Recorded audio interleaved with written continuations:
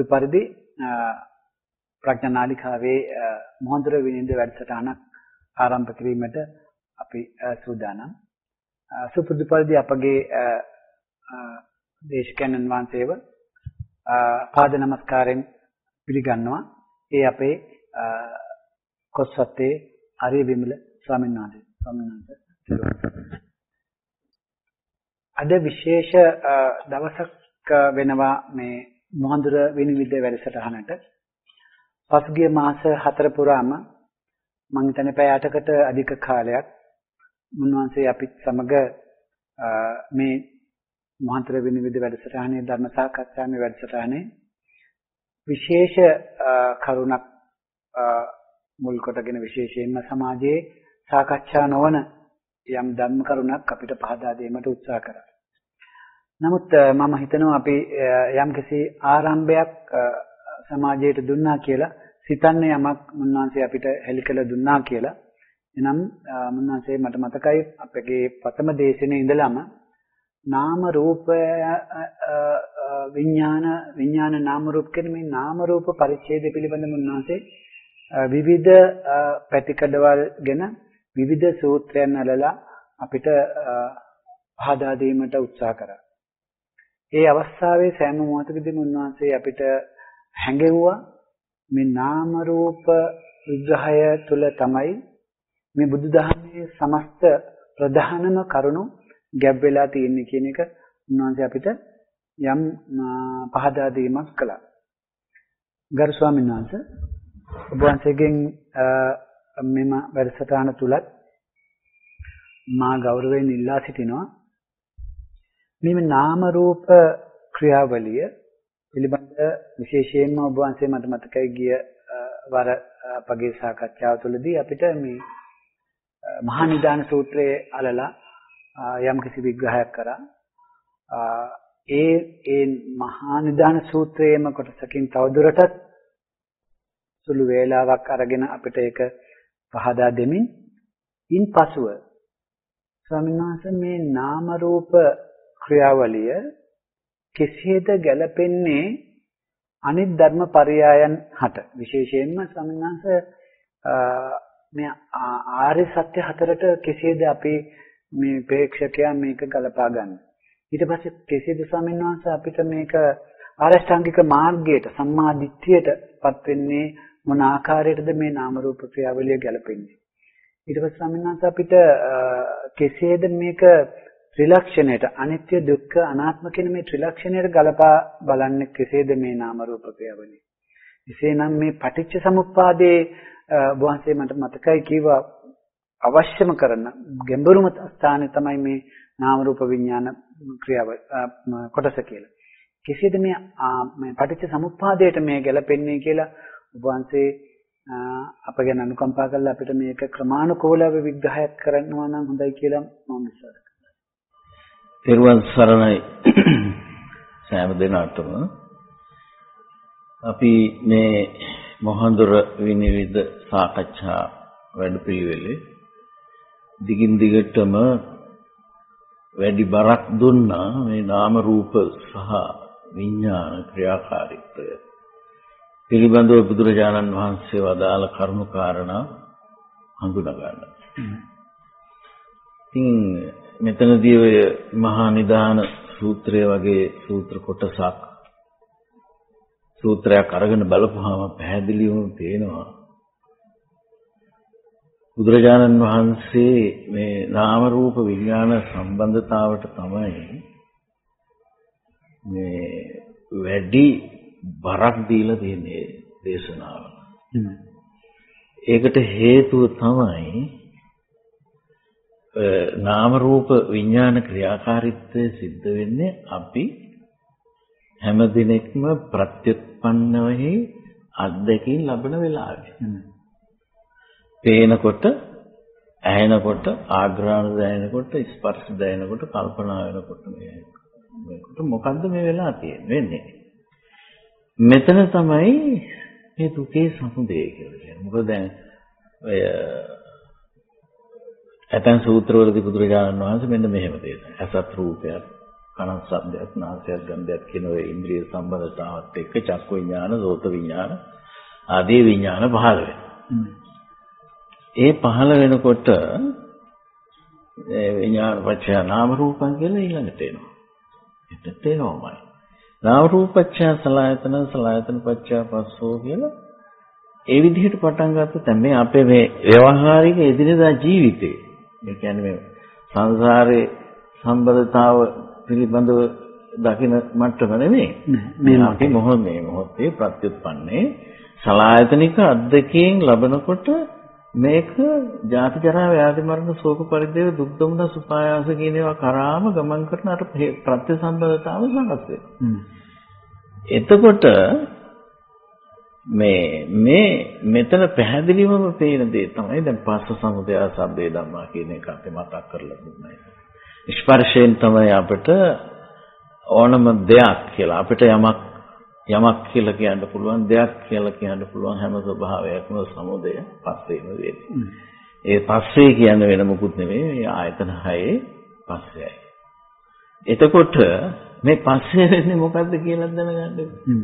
නාමංච රූපංච පටිච්චපස්සා කියලා තමයි තියෙන්නේ. ඉතින් ඒ නිසා අපිට බෑ මේ නාම රූප විඥාන අමතක කරලා දාලා දිරේට පටිච්චසමුප්පාදය ගැනවත් වෙන කිසි දෙයක් ගැනවත් දුකේ සමුදය ගැනවත් චතුරාර්ය සත්‍ය ගැනවත් කතා කරන්නේ. මොකද දැන් දුක පිළිසිඳ දකින්න ඕනේ කියලා කියනකොට පිළිසිඳ දකින්න නම් උඩින් පල්ලෙන් දැකලා බෑ. මේකේ සමුදයම දකින්න ඕන. මොකද බුදුරජාණන් වහන්සේ උනත් වදාළේ හැම දෙයකදීම සමුදය දකින්න, නිරෝධය දකින්න. හැම දෙයකම කතා කළා. සමුදය, නිරෝධ, අස්සාද ආදීනව නිසා. පංච උපාදානස්කන්ධ ගැන කියනකොට උනත් කතා කළේ ඒ පංච උපා පංච ස්කන්ධයන්ගේ සමුදය දකින්ද, නිරෝධය දකින්ද, අස්සාදේ දකින්ද, ආදීනවේ දකින්ද, නිස්සරණය දකින්ද කියලා පස් ආකාරයකින් අවබෝධය වැඩෙන්න තියෙන දෙයක්. එහෙම වැඩෙන්න තියෙන ස්වභාවයක් නම් ඒ අවබෝධය අපි එතකොට සමුදය හඳුනගන්න එපා. අපට ලෝකයේම සමුදය වෙන්නේ විඥානයේ පිළිබිඹුවන නාම රූප අධ්‍යක්ෂින් ක්‍රමයකට.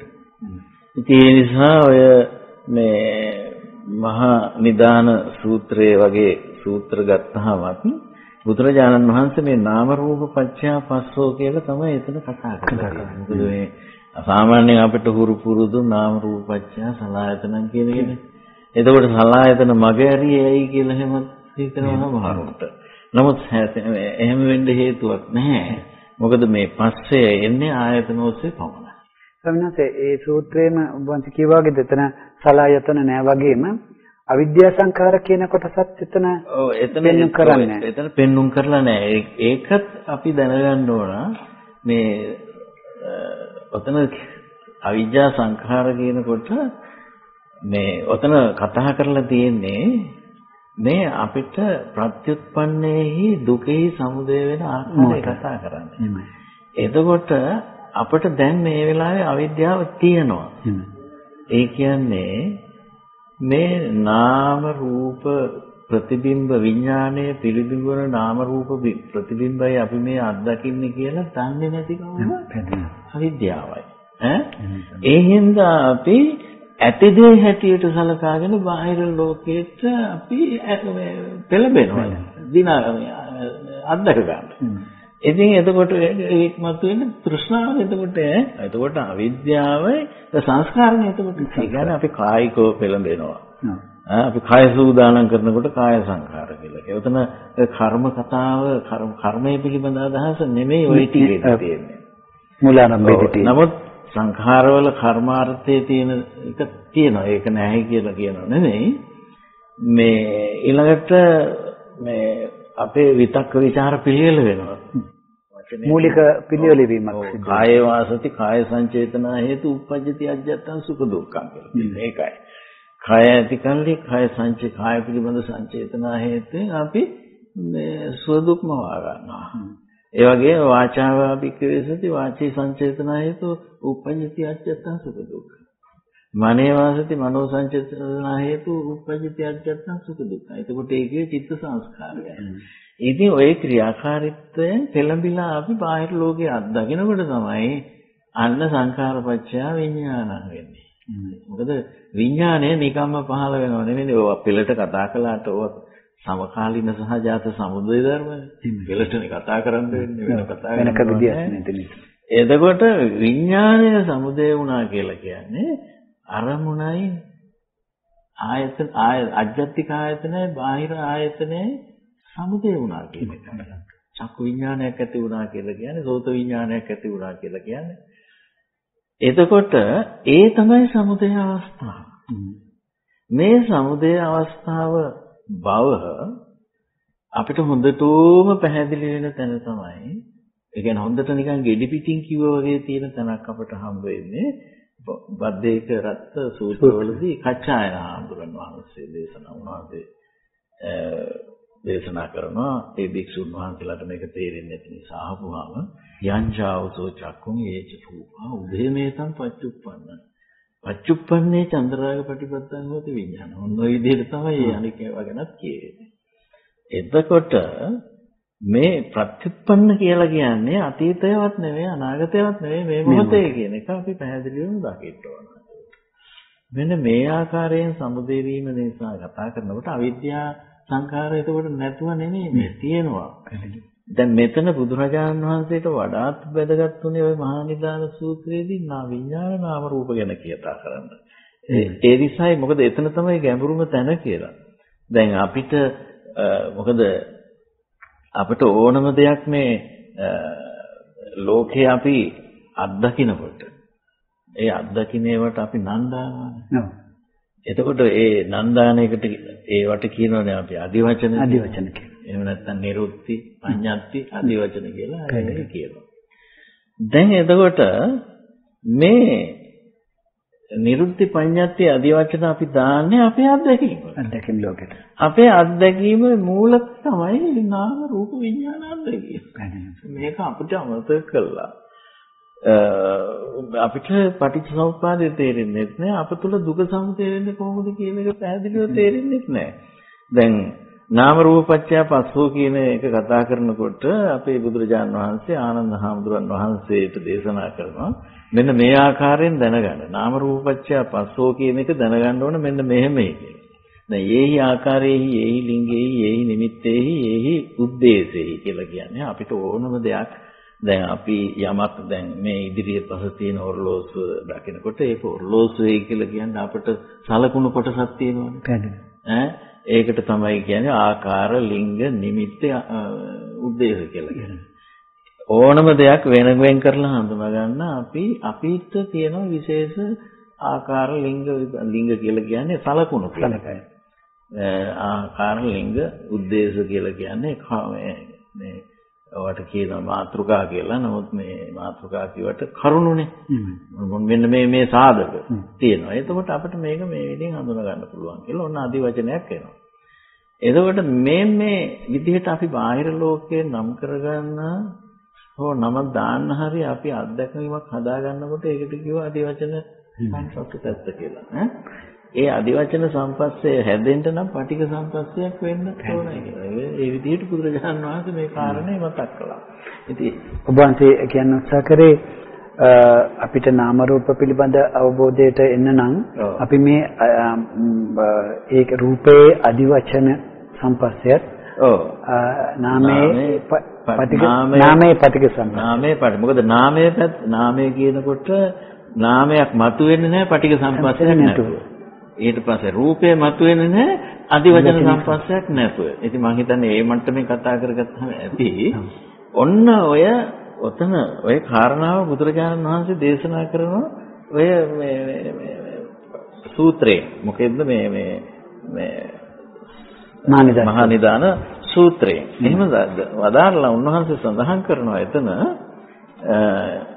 යම්කිසි විදිහකින් ඔය කියන යම්කිසි යම් සලකුණු ඊළඟට ලිංග නිමිති ආදී දෙයක් නැතුව.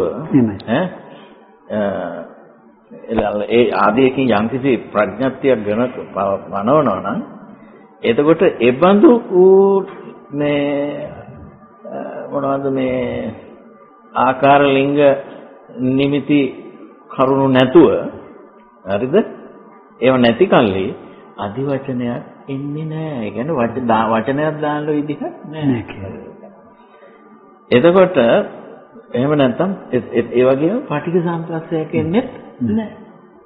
ඒ නිසා බුදුරජාණන් වහන්සේ මේ අදිවචන සම්පස්සේ හා පටිඝ සම්පස්සේ පනවන්න නම් මේ නාම රූප පඤ්ඤාත්තිය තියෙන්න ඕන කියන එක වදාළා.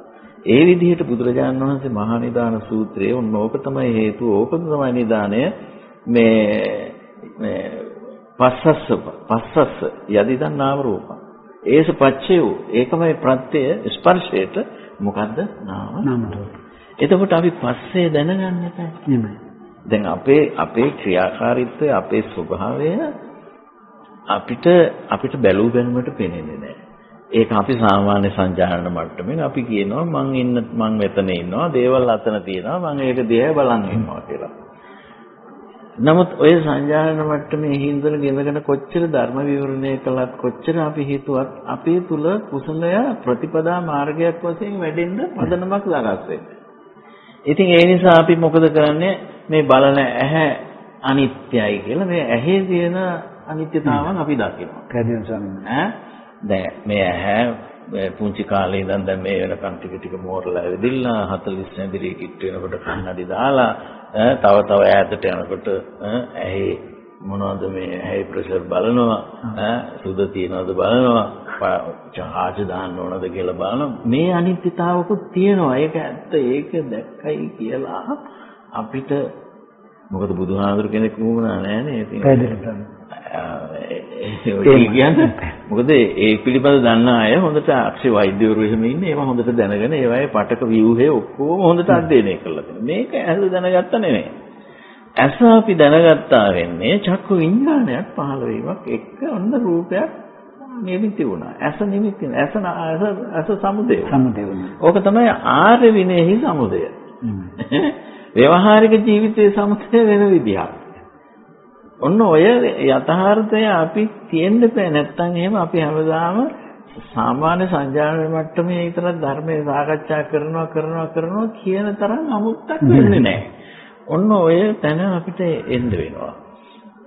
ඉතින් ඊළඟට ඔය කියන විදිහට ඒ වගේම තමයි මේ ඔය මේ විඥාන පත්‍ය නාම රූපං කියන කතාව කතා කරන්න ගියාම බුදුහාමුදුරන් වහන්සේ තවත් මේ මේ උපමාවක් එතන යොදලා තියෙනවානේ.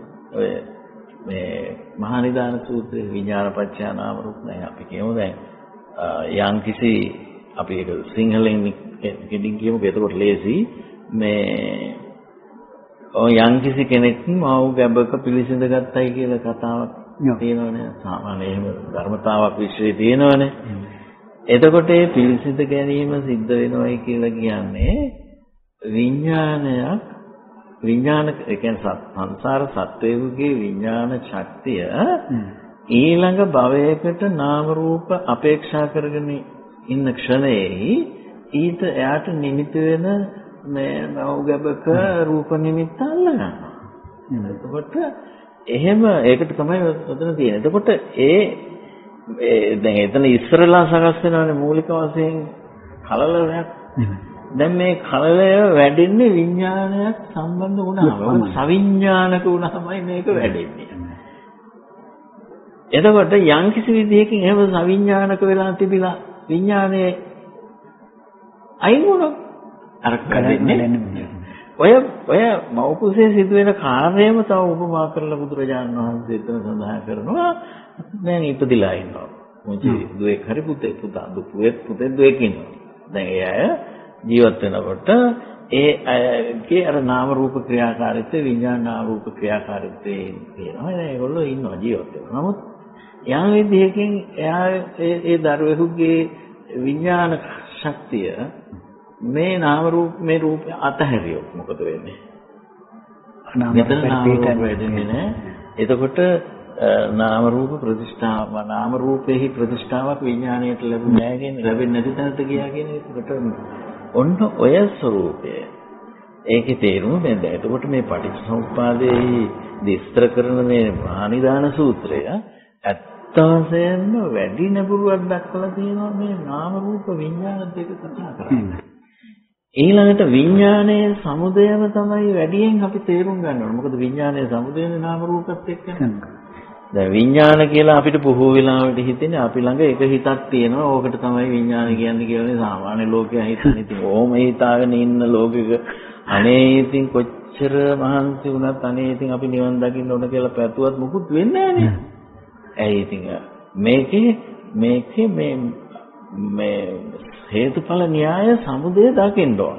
සමුදය දැක්කහම තමයි මම වෙමි කියන මානය එහෙම සිතින්ට පුළුවන්කම තියෙන්නේ. මොකද දැන් අපි අවුරුත් හිතන්නේ කල්ප ගණන් අපි සංසාරේ ආවා කියලා මමම ආවා කියලානේ. නමුත් මේ මම මොහොත මොහොතක් පාසා මොහොත මොහොතක් පාසා මැවුණා. එතකොට මම මොහොත මොහොතක් පාසා මැවුනේ රූපය අල්ලගෙන රූපං උපාදාය අස්මීති හෝතිනෝ අනුපාදාය දැන් අපි මේවා සාකච්ඡා කරපු දේවල්. යලි සිහිපත් කිරීම හා පෙළ ගැසීම කැටින් සිහිපත් කරන්න. ඉතින් එතකොට මේ මේ ගැන කියන්න තියෙන දුක නෙමෙයි සමුදය වෙන්නේ. දැන් ඔය අපි මම හිතන්නේ කලින් අපි සිහිපත් කළා මේ සාකච්ඡාවේදී දැන් චතුරාර්ය සත්‍යත් මෙතෙන්ට සම්බන්ධ වෙනවා අනිත්‍යත් බලන්න එපා. ඈ අනිත්‍ය කියනකොට රූපම් වික්කවේ අනිච්චං කියනකොට චක්කුම් වික්කවේ අනිච්චං කියනකොට මේ සමුදේවන එකනේ. දැන් අතීතං අතීතස්මින් රූපස්මින් අනපෙක්ඛෝ. අතීත රූපය දැන් අතීත රූපේ උනේ ඇයි? අතීත ඇස අතීත ඇසයි කියලා කියන්නේ ඇයි? දැන් ඊයේ ඇස අපි කියනවා අපි නිදසුනකට ගමු ඊයේ මම මොකක් හරි දැක්කා. ඒ ඇස අනිත්‍යයි දැන්. දැන් මම ආයේ එයම දකිනවා නම් දැන් මම සමුදේ වෙන ඇසෙන් දකින්නේ. එතකොට ඔය දැන් කාරණේ නැතුව කොහොමද අපි තේරුම් ගන්න අතීතස්මින් චක්කුස්මින් අනපෙක්කෝ කියන එක තේරුම් ගන්න කොහොමද? ඊයේ දුටු දේ පිළිබඳ මම මේ වෙලාවේ මනසේ මට මට මතක් වෙලා එනවා. එතකොට දැන් මේ ඊයේ රූපයක් දැක්කේ. හැබැයි දැන් මතක් වෙලා එනකොට මනෝවිඤ්ඤාණය පහළ වෙන්නේ. දකින්න වෙලාවේ නම් චක්කු විඤ්ඤාණය පහළ වුණා. ඇසත් පහළ වුණා, චක්කු විඤ්ඤාණය පහළ වුණා. දැන් පහළ වෙන්නේ මනෝවිඤ්ඤාණය. ඒ හින්දා මොකෝ වෙන්නේ? මනෝවිඤ්ඤාණයෙන් විතර පහළ වුණාට මදි මේක ආයෙ බලා ගන්න. එතකොට ආයෙ අලුතෙන් සමුදය. අලුතෙන් සමුදය. ඒ මොහොතේ. ඕකයි මේ යන වැඩේ. එතකොට අතීතස්මෙන් චක්කුස්මෙන් අනපෙක්කෝ අනාගතං චක්කුන් ආභිනන්දති කියන එක වෙන්න මේ සහසද ඒ ඒ ප්‍රතිපදාව දැනගන්න මේක දැනගන්න බෑනේ. මොකද දැන් අපි මේ සාකච්ඡාවේදී ප්‍රතිපදාවට නැඹුරු කරලා දැන් ඉතුරු කතා කරන්න තියෙන නමුත් මෙතන ඒ ටික කියවෙනවා. ඉතින් කමක් නැහැ මේවා. මොකද මේ ධර්මයේ තෝරලා බේරලා රූල් ගහලා කියනවට වඩා හොඳ හවුලේම සියල්ල කතා කරන එක. ඒ කතා කරනකොට තමයි මේවල සම්බන්ධතාව හොඳට පැහැදිලි වෙන්නේ. නැත්නම් එකින් එකින් වියුක්ත ධර්ම හැටියට තමයි මේවා හැමදේම හිතන්නේ. එතකොට අතීතස්මින් චක්කු මේ අනපෙක්කෝ අනාගතං චක්කු නාවිනන්දති පච්චුප්පන්නේ නිබ්බිදාය විරාගාය පටිපන්නෝ. මේ මොහොතේ මට සමුදය වෙන චක්කු විඥානයේ ඇසෙත් රූපෙහිත් චක්කු විඥානයේ මම මොකද කරන්නේ? නිබ්බිදාය. ඇයි මේක නිකම් මැවුණු දෙයක් නේ? නිබ්බිදා වෙන්න නම් નિසරු බව පේන්න බෑ. නිබ්බිදා කියන වචනේ තේරුම කලකිරීම කියන එකනේ. මේ කලකිරීම කියන්නේ නිකන් ඔය හොඳු මාන්දු වෙලා නික අත තියාගෙන ඉන්න වැඩ වැඩ පිළිවෙලේ කලකිරීමක් නෙමෙයිනේ. මේ අපි හරයක් නැති දෙයකට හරයක් දුන්නු එක තේරෙන්න එපා. අයියෝ මොන මොන ලාමක දේවල් වලටද මේ අපි අහුවෙලා තියෙන්නේ කියලා තේරෙනකොට නේ නිබ්බිදාම ඇති වෙන්නේ. නිබ්බේධිකා පඤ්ඤා කියන්නේ එතකොට ඒකනේ. ඒ විදිහට ඒක නිබ්බේද නිබ්බිදා කලකිරීම පිළිසෙ. විරාගය. අන්න එතකොට මොකද වෙන්නේ? අර උනන්දු අඩු වෙන්න අඩු වෙන්න නිකම්ම මැකිලා යනවා. ඈ මොකද මේ සාසන ප්‍රතිපදාවේ තියෙන බොහොම ලොකු හරි වටිනාකමක්. ඕක පැහැදිලි කරලා තියලා තියෙන සූත්‍ර තියෙනවා මම නිදර්ශනයකට ඕනනම් කියන්නම් වාසි ජටෝපම කියලා සූත්‍රයක්. ඔය වාසි ජටෝපම සූත්‍රයේ සඳහන් වෙනවා මේවා මේ ආකාරයෙන් තේරුම් අරගෙන මේ ධම්මානුධම්ම පටිපත්තියෙහි නියැලෙනකොට ඈ යෝ එවං භාවනානයෝග මනෝත්තස්ස විහෙරතෝ අප්පකසිරේනිය වැඩි වෙහෙසක් නැතුව තමයි මේ කෙලිස් ප්‍රහීන වෙන්නේ. මේවා අප්පකසිරේනේම සංයෝජනානි පටිප්පස්සම්පන්ති කියලා. අප්පකසිර කියලා වචනයක් දුන්නානේ බුදුහාම. අඩු වෙහෙසකින් කියන්නේ. ඒකේ තියෙන්නේ හරියට දැනගෙන නිවැරදිව සාවධාන වෙන්න විතරයි තියෙන්නේ. එතකොට ගානට වැඩි සිද්ධ වෙනවා. ඕක උපමාවකින් දෙනවා බුදුහාම. හරි ලස්සන. අහලත් ඇති මේ වෙනකොට කිකිලියක් බිජුවට 10ක් 15ක් දානවා. ඒ දාපු බිජුවට දැන් මෙයා රකින්න. දැන් මොකද කරන්නේ? එයා රකින්නවා කියලා ඒක උඩට වෙලා උණුසුම දෙනවානේ. දැන් එයා සැලසුම් ගහනවාද? එයා ප්‍රාර්ථනා කරනවාද? මෙසේ මෙසේ පැටව ඇති වේවා කියලා. ඈ? මෙහෙම මෙහෙම දැන් දැන් නම් එන්න ඕන. දැන් නම් එන්න ඕන කී කී හිතනවාද? එහෙම මුකුත් නැහැ. එයා කරන්නේ උණුසුම දේව පවනවයි. හොඳ උපමාවක් මේ. නමුත් නිසි කලට අර බිජුවට මුහුකුරා යනකොට මොකද වෙන්නේ අර උණුසුම ලැබෙනකොට ප්‍රමාණවත් පරිදි මේ උණුසුම එතකොට මේ මේ අපි විදර්ශනා භාවනාවක් යොදනවා නම් ඒක තමයි නියම උණුසුම දීම. ඒ උණුසුම දෙනකොට මොකද වෙන්නේ? අවශ්‍ය වෙලාවට ප්‍රතිඵල. අප්ප කසිරේන වැඩි වෙහසක් නැතුවම. ඈ නියම් තුඩෙන් කටුව බිඳගෙන පැටව එළියට එනවා. ඒ වගේ තමයි මේ ධර්මය සඳහන්. ධර්මයේ පිළිබඳව තියෙන්නේ.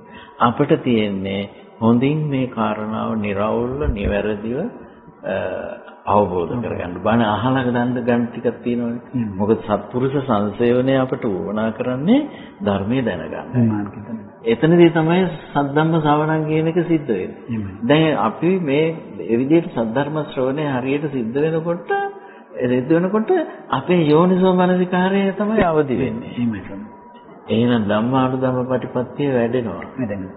එහෙම වැඩෙනකොට මොකද තමන් ඒකට නියුක්ත වෙන්නත් ඕන. නමුත් මේකේ තියෙන හේතුඵල න්‍යායක්නේ ධර්ම මාර්ගය වුණත් තියෙන්නේ. නිකන් ආවට ගියාට නෙවෙයි. එතකොට අතීතස්මින් චක්කුස්මින් අනපේකෝ කියන ඒ ඔය සංයතනිකායේ මේ සලායතන සංයුත්තේ ඔය මුල්ම ඔය අනිච්ච දුක්ඛ අනාත්ම සූත්‍ර කීපයක් තියෙනවා. ඒ ටික අල්ලලා මම ওই කාරණේ මතක් කරේ. ඉතින් මේ අපි අර මේ අනිච්ච දැන් දුක කියලා දැන් අනිච්ච දුක්ඛ අනාත්තනේ. මේක දැන් අපි මේක දුකයි කියලා දැනගන්න බෑ. අනිත්‍යයි කියන එක අපි දැනගන්නේ මේවා ඇති වෙලා නැති වෙනවා කියන එකනේ. ඈ? දැනටම. ඔව්. දැනටම අපි සමුදය වෙනවා. සමුදය වෙනවා නිරුද්ධ වෙනවා. අපි සමුදයෙන් සමුදය සමුදයෙන් සමුදය ගැට ගහගෙන තණ්හාවෙන් මේක අලෝගන තමයි මේ මේක තේරුම් ගන්න. දැන් ඕක ඔය කාරණාව කතා කරනකොට මේ බුදුහාමුදුරන් වහන්සේගේ හොඳ සූත්‍රයක් තියෙනවා ඔය මේ ගාථාවක් මේ අර යෝබන්තේ විදිත්වාන මජ්ජේ මන්තාන දෙපති තම් බ්‍රූමි මහා පුරිසෝති සෝද සිබ්බනි මච්චකා කියලා. ඔක සුත්තනිපාතේ එන ගාථාවක්. ඒ ගාථාව ඊට පස්සේ භික්ෂුන් වහන්සේලා සාකච්ඡාවකට වාජනය කරපු හැටි හම්බ වෙනවා අපිට මජ්ජේ සූත්‍රය. දැන් ඒකේ අර්ථය ගත්තාන් පස්සේ මේකයි යම්කිසි කෙනෙක් උභයන්තේ දැනගෙන යෝ බන්තේ විදිත්වාන මජ්ජේ මන්තාන ලිප්පති මධ්‍යේහි ප්‍රඥාවෙන් යුක්තව මැද ඇලෙන්නේ නැත්තම් ස්තම්භූමි මහා පුරිසෝති ඒ පුද්ගලයාට මම කියනවා මහා පුරුෂයාය කියලා බුදුරජාණන්. සෝද සිබ්බනි මච්චගා එයා තෘෂ්ණාව සිබ්බනි නම් වූ මේ තණ්හාව නැවති මෙහුම්කාර්ය ඉක්මේ ඉක්මවුවා කියලා කියනවා. දැන් එතකොට ඔය ගාථාවේ අර්ථය සලකලා වික්ෂුන් වහන්සේලා අතරද සාකච්ඡාවක් ඇති වෙනවා. එක්කෙනෙක් දෙන එක තමයි නාම රූප කියන්නේ. නාම ඒකාන්තයේ රූප අනෙකාන්තයේ. විඥානම් මැජේ. එතකොට දැන් මේක ඒ හාමුදුරුවෝ දුන්න උත්තරේ තුල තියෙනවා දැන් නාමය කියලා කියනකොට ඒකාන්තයක් නෑ අර ඒ අරමුණු ගන්නකොට ඇති වෙන වේදනා සංඥා චේතනා පස්සෝ මනසිකාරනේ ඔය කාර්යය සිද්ධ වෙනවා. එතකොට අනික් අන්තේ මොකද්ද? රූපය. ඒ කියන්නේ අපි නාම ධර්ම ඔස්සේ මේ සංස්කරණය කරගත්ත රූප නිමිත්තක් අත්දකිනවා. දැන් විඥාණය තමයි මේක මේ මන්දේ කියලා. හැබැයි විඥාණය මේ වැඩේ කරනවා කියලා අපිට පේන්නේ නැහැ අපි හිතාගෙන ඉන්නේ මෙතන අරමුණ තියෙනවා. අතන මේ බලන එක්කෙනයි. නොහොමනේ රූපේ මෙතන මෙහි බලනවා. නාම පැත්තේ ඉඳගෙන බලනවා අර පැත්තේ රූපේ. ඔහොමනේ ඔය හිතන්නේ. දැන් විඥාණය තමයි මේක මවලා දීලා. මොලනේ. ඈ නමුත් අපිට විඥානයක් පේන්නේ නැහැ නේද? මම මට මම හිතනකොට කල්පනා කරනකොට බාහිර ලෝකයේ අත්දකිනකොට ඔන්න චක්ක විඥානය ඔන්න සෝත විඥානය කිය අපිට පේන්නේ නැහැ ආගේ ගති ස්වභාවය මෙතන හොඳට තේරුම් කරලා දෙනවා. මේ එතකොට විඥානය කියන එක අපිට මග ඇරිලා ඉතන විඥානය විසින් මවල දුන්න බව පේන්නේ ඒ පේන්නේ නැත්තේ ඇයි මේ තණ්හාව තමයි අර නාමයි රූපයි අලවන්නේ. ඉතින් අපි අරමුණෙන් අරමුණ අරමුණෙන් අරමුණ ඇලෙන්නෙත් ඔය විදිහට. එකිනෙකට ගහගෙන යන. අන්න හරි. ඔය తත්‍ර తත්‍ර අපි නන්දිනී කියලා එහෙම කියන්නේ තණ්හාවට ඒ හින්දා.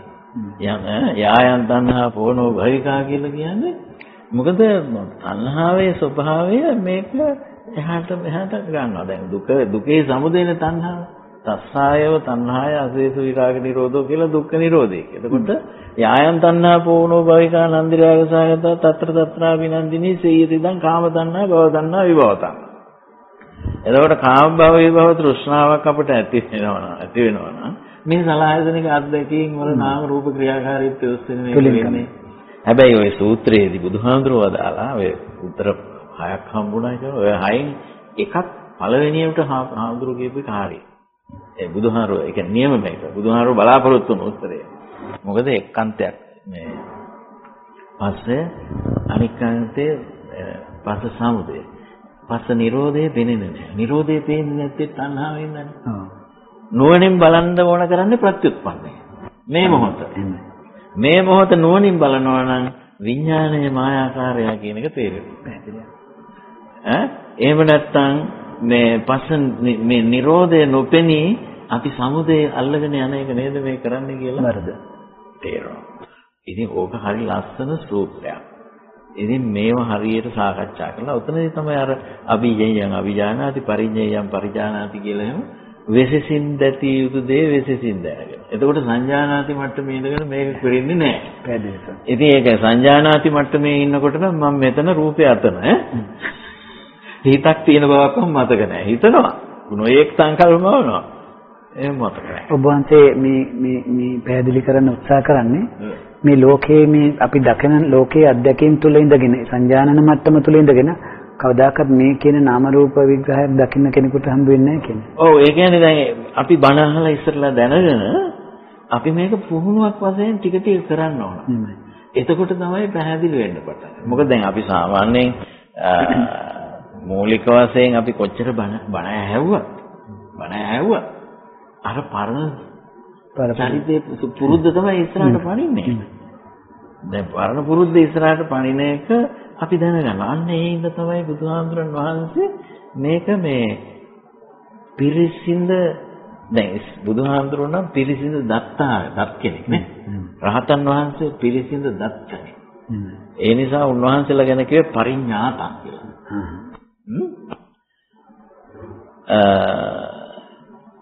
පුදුම මනසේ ඉන්න එක්කෙනාට කිව්වේ අපරිඥාත. පිරිසිදු දන්නේ නැහැ. අනේ ඉතින් පිරිසිදු දන්නේම නැත්තම් එයාට එතනම නිරැඳෙන්න වෙන්නේ. මේ පිරිසිදු දන්නේ නැති අයට තමයි බණ කියලා පිරිසිදු දැනීම පිරිස හික්මෙන්න බණ. වන කියන්නේ. ඒ කියන්නේ ඒ කියන්නේ, එතකොට පරින් පරින් අපරිඥාත පරිඤ්ඤය පිරිසිදු දැකීම පිණිස කටයුතු කරනවා. පිරිසිදු දැනීම පිණිස කටයුතු කරන එකනා තමයි සේකයා. සේකයෝ කියලා જાතියක් ඉන්නවනේ මේ ශාසනයේ සේකයෝ කියන්නේ ශික්ෂණයට බයින එකනා. සේක භවෙන් මෙහා පුරුදු. සේක භව පිරිපුන් කළාමයි අහේ. ඒතද අසේක කියලා කියන්නේ. ඔව් අසේක කියන්නේ සේක භව පිරිපුන් කළා. එතකොට සේක ඒකෙන් සමිනස සෝවාන් මට්ටමින් පල්ලෙහා ඉතින් සේක. මොකද ඔය අහලා තියෙනවනේ සප්ත සෛක්ෂයෝ කියලා සප්ත සේකයෝ කියන්නේ. මොකද පුරුෂ පුද්ගලයෝ අට දෙනානේ. සෝවන් මගට පිළිපන්න එක්කන ඉතින් සෝවන් එක්කන. ඊළඟට සකදාගාමි මගට පිළිපන්න එක්කන සකදාගාමි එක්කන. දෙන්න හතර දෙනා ඈ. ඊට පස්සේ අනාගාමි මගට පිළිපන්න එක්කන අනාගාමි එක්කන. එතකොට 6යි. අරහත් මගට පිළිපන්න එක්කන සේකයා. මාර්ගයේ පූර්ණත්වයටපත් වූ රහතන් වහන්සේ අසේකයි. එතකොට සෛක්ෂව හතයි. මේ හතෙන් පළවෙනි දෙන්න ගැන මම හිතනවා මේ පටිපදාව සම්බන්ධයෙන් කතා කරනකොට අපි කතා කරන්නේ.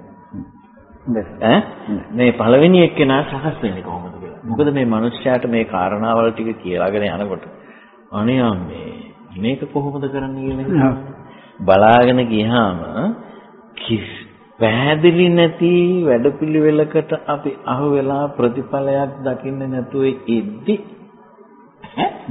අපි මේ බුදුහාමුදුරන් වහන්සේ අපිව වැල්වටාරම් වලට පටලවන්නේ නැතුව සරල තැන අපිට පෙන්වුවා දුක සමුදය වෙන්නේ කොතනද? කොතනද කියලා. ඒ නිසා මේක අසීරු වෙන්න හේතුවක් නැහැ. අමාරුකම් අයින් වෙලා පහසුවට ලක් වෙන්න නම් මේක තේරුම් ගත්තා. හරිද? ඉතින් ඔන්න ඔයගේ හරි වටිනාකමක් මේකේ තියෙනවා.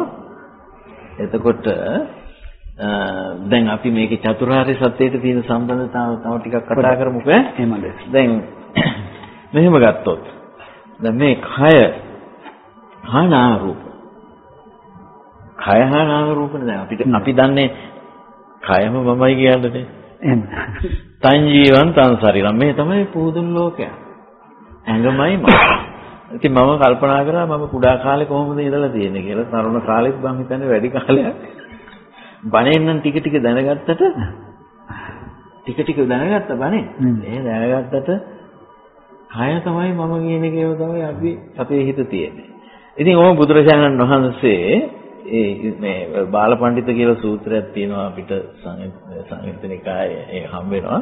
දැන් අවිජ්ජා නීවරණස බාලස්ස. දැන් මේ බාලයා කියන එක කෙනාගත්නේ ධර්මයේ දකින්න නැති කෙනා හඳුනනටනේ අවිද්‍යා නීවරණේ නාවරණය වෙලා. ඉතින් දැන් අපි අවිද්‍යා නීවරණේ තියෙනවනේ නේද?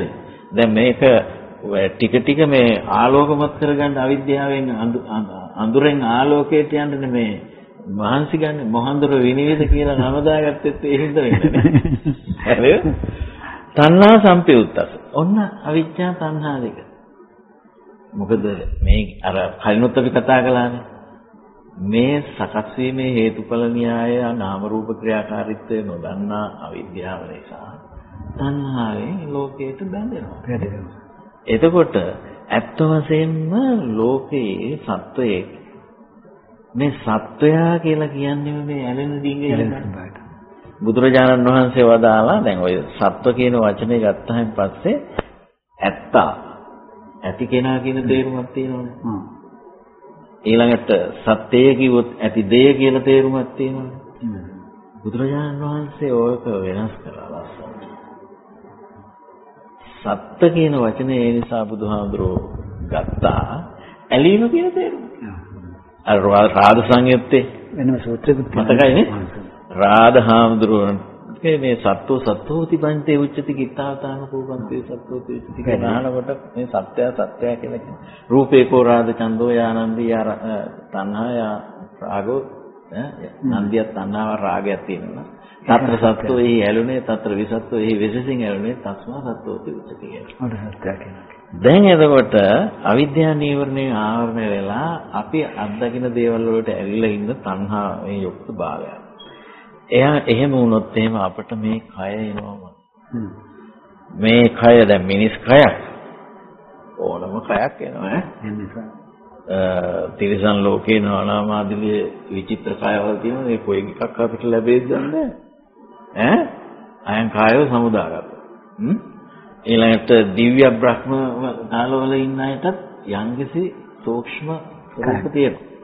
දැන් ඒවම කායව සමුදාගත්තා. එතකොට ඉති අයංච කායෝ දැන් අපි දැන් ඉන්න අපි ගැන හිතමුකෝ දැන් මේ කය. මෙන්න කය. මෙසේ මෙය කයයි ඊළඟට බහිද්දා බහිනෙන් මොකක්ද දෙන්නේ? නාම රූපං ඉතින් බහිද්ධාවෙන් ගත්තේ නාම රූප. නාම රූප. ඉතින් දෙයියනේ මේක අපි තේරුම් නොගෙන කොහොමද? ඉස්සරහට යන්නේ කොහොමද මේ ශාසනය? මේ ශාසනය අර අර සංස්ථාගත මට්ටමක් විතරක් දිගින් දිගට යන ගතිය ඇති වෙලා තියෙන මම හිතන්නේ මේවා යටගිය එක හේතුව නිසා. ඉත්තේතන් දොයන් දොයන් පටිච්ච පස්සෝ. ඉතින් නාම රූප නාමයක් රූපයක් අතර මේ මේ පස්සේ වෙන්නේ. නාමංච රූපංච පටිච්ච පස්සා කියලා අපි මුලින්ම සාකච්ඡාවලදී ගත්තා. අවසානයේ. ඈ මේ සම්බන්ධතාව අපිට පේන්න එපා. එහෙනම් මොකද වෙන්නේ?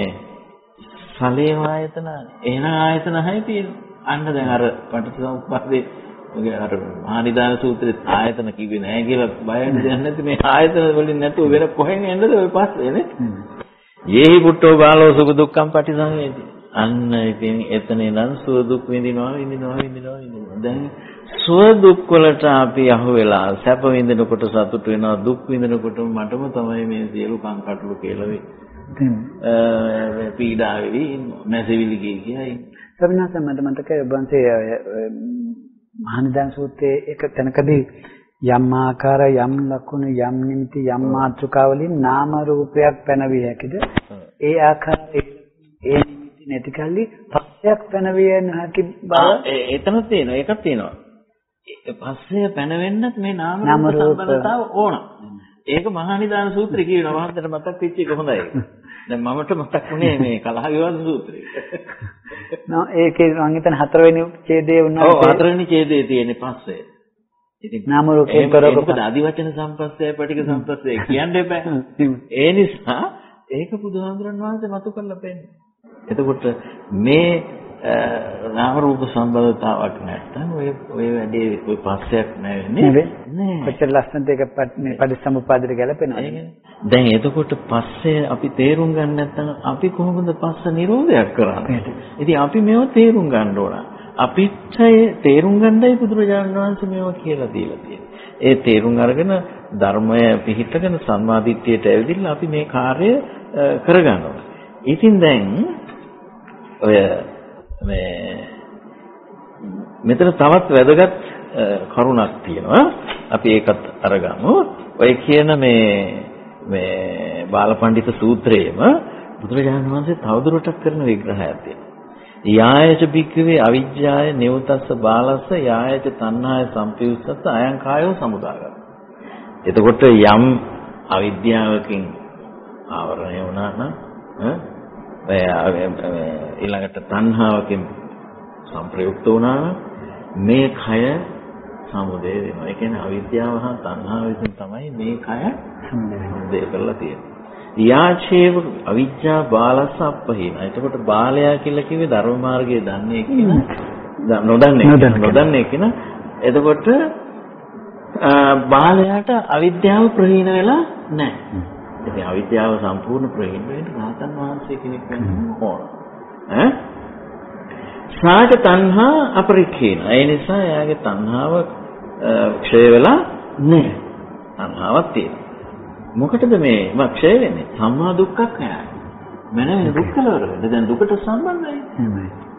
ඊළඟට තස්මා බාලෝ කායස බේදා කායුක ඔන්න වෙන වැඩි. මේ දුක්ඛ ක්ෂය වීම පිණිස අපේ ශාසන භ්‍රමචර්යාව සම්පූර්ණ වුණේ නැත්නම් කයෙහි බිඳීමෙන් ඊළඟ කයකට එළඹේ. කායස බේදා කායුපගෝ.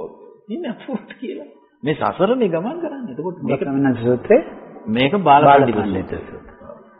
දැන් මේකේ රහතන් වහන්සේගේ පැත්තට කියලා තියෙන ටික තියෙනවා. දැන් අපිට ඕන කරන ටික මේක වැඩි- වැඩිපුර ඕන කරන ඒ නිසා මම මේ ගත්තේ ඈ.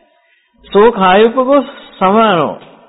අනේ ඉතින් කයකට ගියා නම් මොකෝ වෙන්නේ න පරිමුච්ඡති ජාතියා ජරා මරණය. ජාති ජරා මරණ ශෝක පරිදේව දුක් දුම්නස් වායාසයෙන් මිදීමක් නැතුව යනවා. ඉතින් එහෙමනම් අපිට ඊටාමත්ම පැහැදිලි මේ නාම රූප දෙක හොඳටම තේරුම් ගත්තාන් පස්සේ තමයි අපිට පටිච්ච සමුප්පාදය පැහැදිලි වෙන්නේ. ඇත්ත වශයෙන්ම දුක පැහැදිලි වෙන්නේ. දැන් අපි අ, අර තිත්තායතන සූත්‍රයේහි අ, වාක්‍යයක් මම හිතන්නේ පසුගිය වතාවල මතක් කළා. ඒ තිත්තායතන සූත්‍රයේ තියෙන ආයතන හ- තුනක් තියෙනවා. අර්ථ සම්පන්න ආධ්‍යාත්මික ජීවිතයක් ගත කිරීමට බාධක වන මිත්‍යා සංකල්ප. ඔය අහේතුකවාද, ඉස්සරවා, ඉස්සර නිර්මාණවාද, ඊළඟට සබ්බම් පුබ්බේ කත හේතුවාද කියලා. කර්මෙත් තියෙනවා. නමුත් බුදුහාඳුරන් වහන්සේගේ කර්ම නියාමයේ තියෙන විශේෂයක්. කුසල් පිළිවෙතට බැස ගන්නට අවකාශ විවෘත කරන කර්ම නියාමයකයි බුදුහාඳුර වදාළේ. අනික් අය කතා කරපු කර්ම නියාමයේ අර්ථ සම්පන්න ආධ්‍යාත්මික ජීවිතයකට බැසගන්න ඉඩ විවෘත වෙන්නේ නැහැ. අන්න ඒකයි. ඒ කියන්නේ සමහර කෙනෙක් කිව්වා මේ මේ යම් යම් බහුලං යම් බහුලං විහෙරති තේන තේන නීයති කියලා. යම් යම් ආකාරයට වඩා වැඩි වැඩියෙන් කටයුතු කරනවා නම් ඒ ඒ ආකාරයට මේ ඊළඟ පැවතුම් හැදේ කියලා. ඈ එතකොට ඒකේ තේරුම අර මේ කර්මය ක්ෂය කරන්න මගක් විවෘත වෙන්නේ නැහැ. ඒ නිසා බුදුහාඳුරෝ වදගේ ක්‍රමෙදී යම් වේදනීය කර්මයක් කරන්නේද අන්න ඒකට ප්‍රතිපාක තියෙනවා. ඒ තුල අන්න පස්සේ වේදනාව ආදී දේවල් තේරුම් අරගෙන වේදනා නිරෝධයට කටයුතු කිරීම තුළින් කුසලයට නැති හිටින්න ඉඩ තියෙනවා. ඔය කාරණාව කතා කරන තැන බුදුහාමුදුරුවෝ එතකොට අනිත් චිත්තායතන ප්‍රතික්ෂේප කළා බුදුහාමුදුරන් වහන්සේ ලෝකයට අවධාරණය කරන දේකුත් එතන පෙන්නනවනේ. ඒ පෙන්වන්නේ මොකද්ද? චන්නං ඒව ධාතුණං උපාදාය ගබ්බසාවක් අන්ති. චන්නං ධාතුණං කියලා කියන්නේ රූප පඨවි ආපෝ තේජෝ වායෝ ආකාශ විඥාන. එතකොට මේ පඨවි ආපෝ තේජෝ වායෝ ආකාශ විඥාන කියන ධාතුන් උපාදාන කරගෙන ඇති තැන ගැබකට පිවිසීම වේ. එතකොට ගබ්බසාවක් අන්තිමයි. ඔක්කාන්තියා සති නාම රූප ආශාවලාව රූපෙත් ඉතින් දැන් මේක අමතක කරලා බෑනේ නාම රූපෙත් නාම රූප පත්‍ය සලආයතන සලආයතන පත්‍ය පස්ස. පස්ස පත්‍ය වේදනා. ඔන්න ආවයිපෙට ඔන්න එතන ඉඳන් අපූර්වට චතුරාර්ය සත්‍යයට සම්බන්ධ වෙනවා. වේදියමානසකෝ පණාහං වික්කවේ අයං දුක්ඛන්ති පඤ්ඤපස්සා මේ දුකයයි මම බලන දැන් අපි දැන් අපි දැන් අපි සාමාන්‍ය ලෝක ව්‍යවහාරයේදී දරු සම්පත් බලාපොරොත්තු වෙන මව්පිය දෙපළෙක් දෙපළක් නේද? දරු ගැබක් පිහිටියොත් හරි සතුට වෙනවනේ.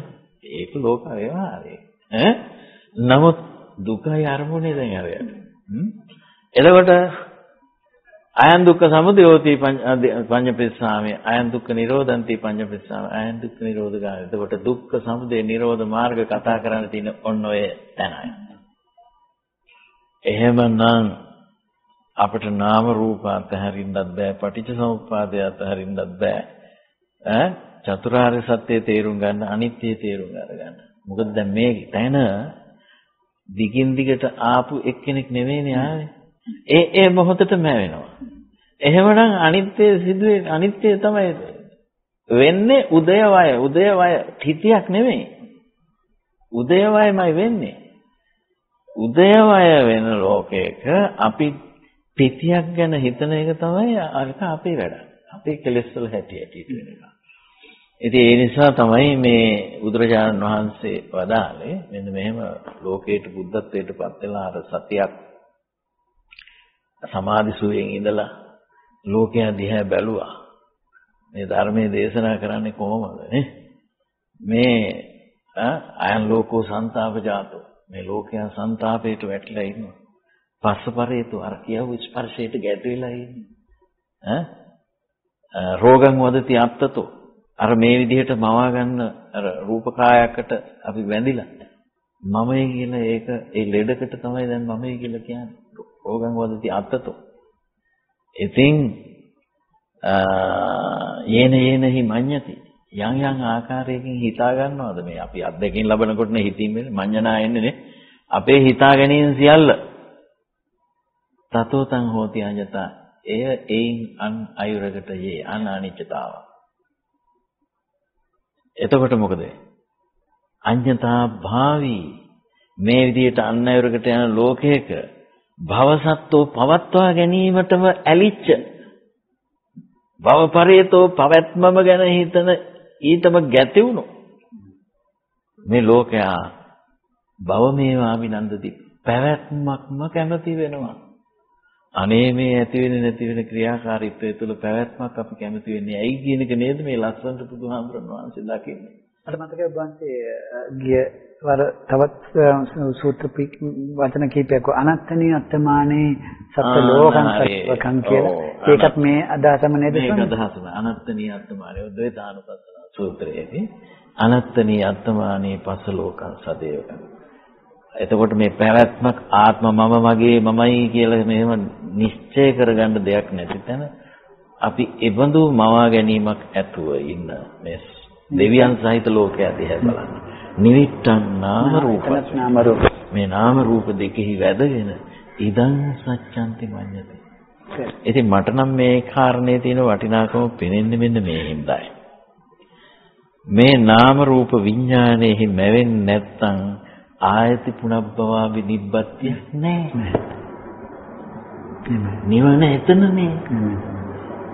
එහෙනම් අපිට මේක මේක හොඳට තේරුම් අරගෙන අපේ සලායතනික අත්දැකීම් ලෝකයේ සමුදය තමයි දකින්න දැන් ඔය සමහර දැන් එක තැනක තියෙනවා මේ චක්කනිපාතේ අංගුත්තර නිකායේ සෝන සූත්‍රය.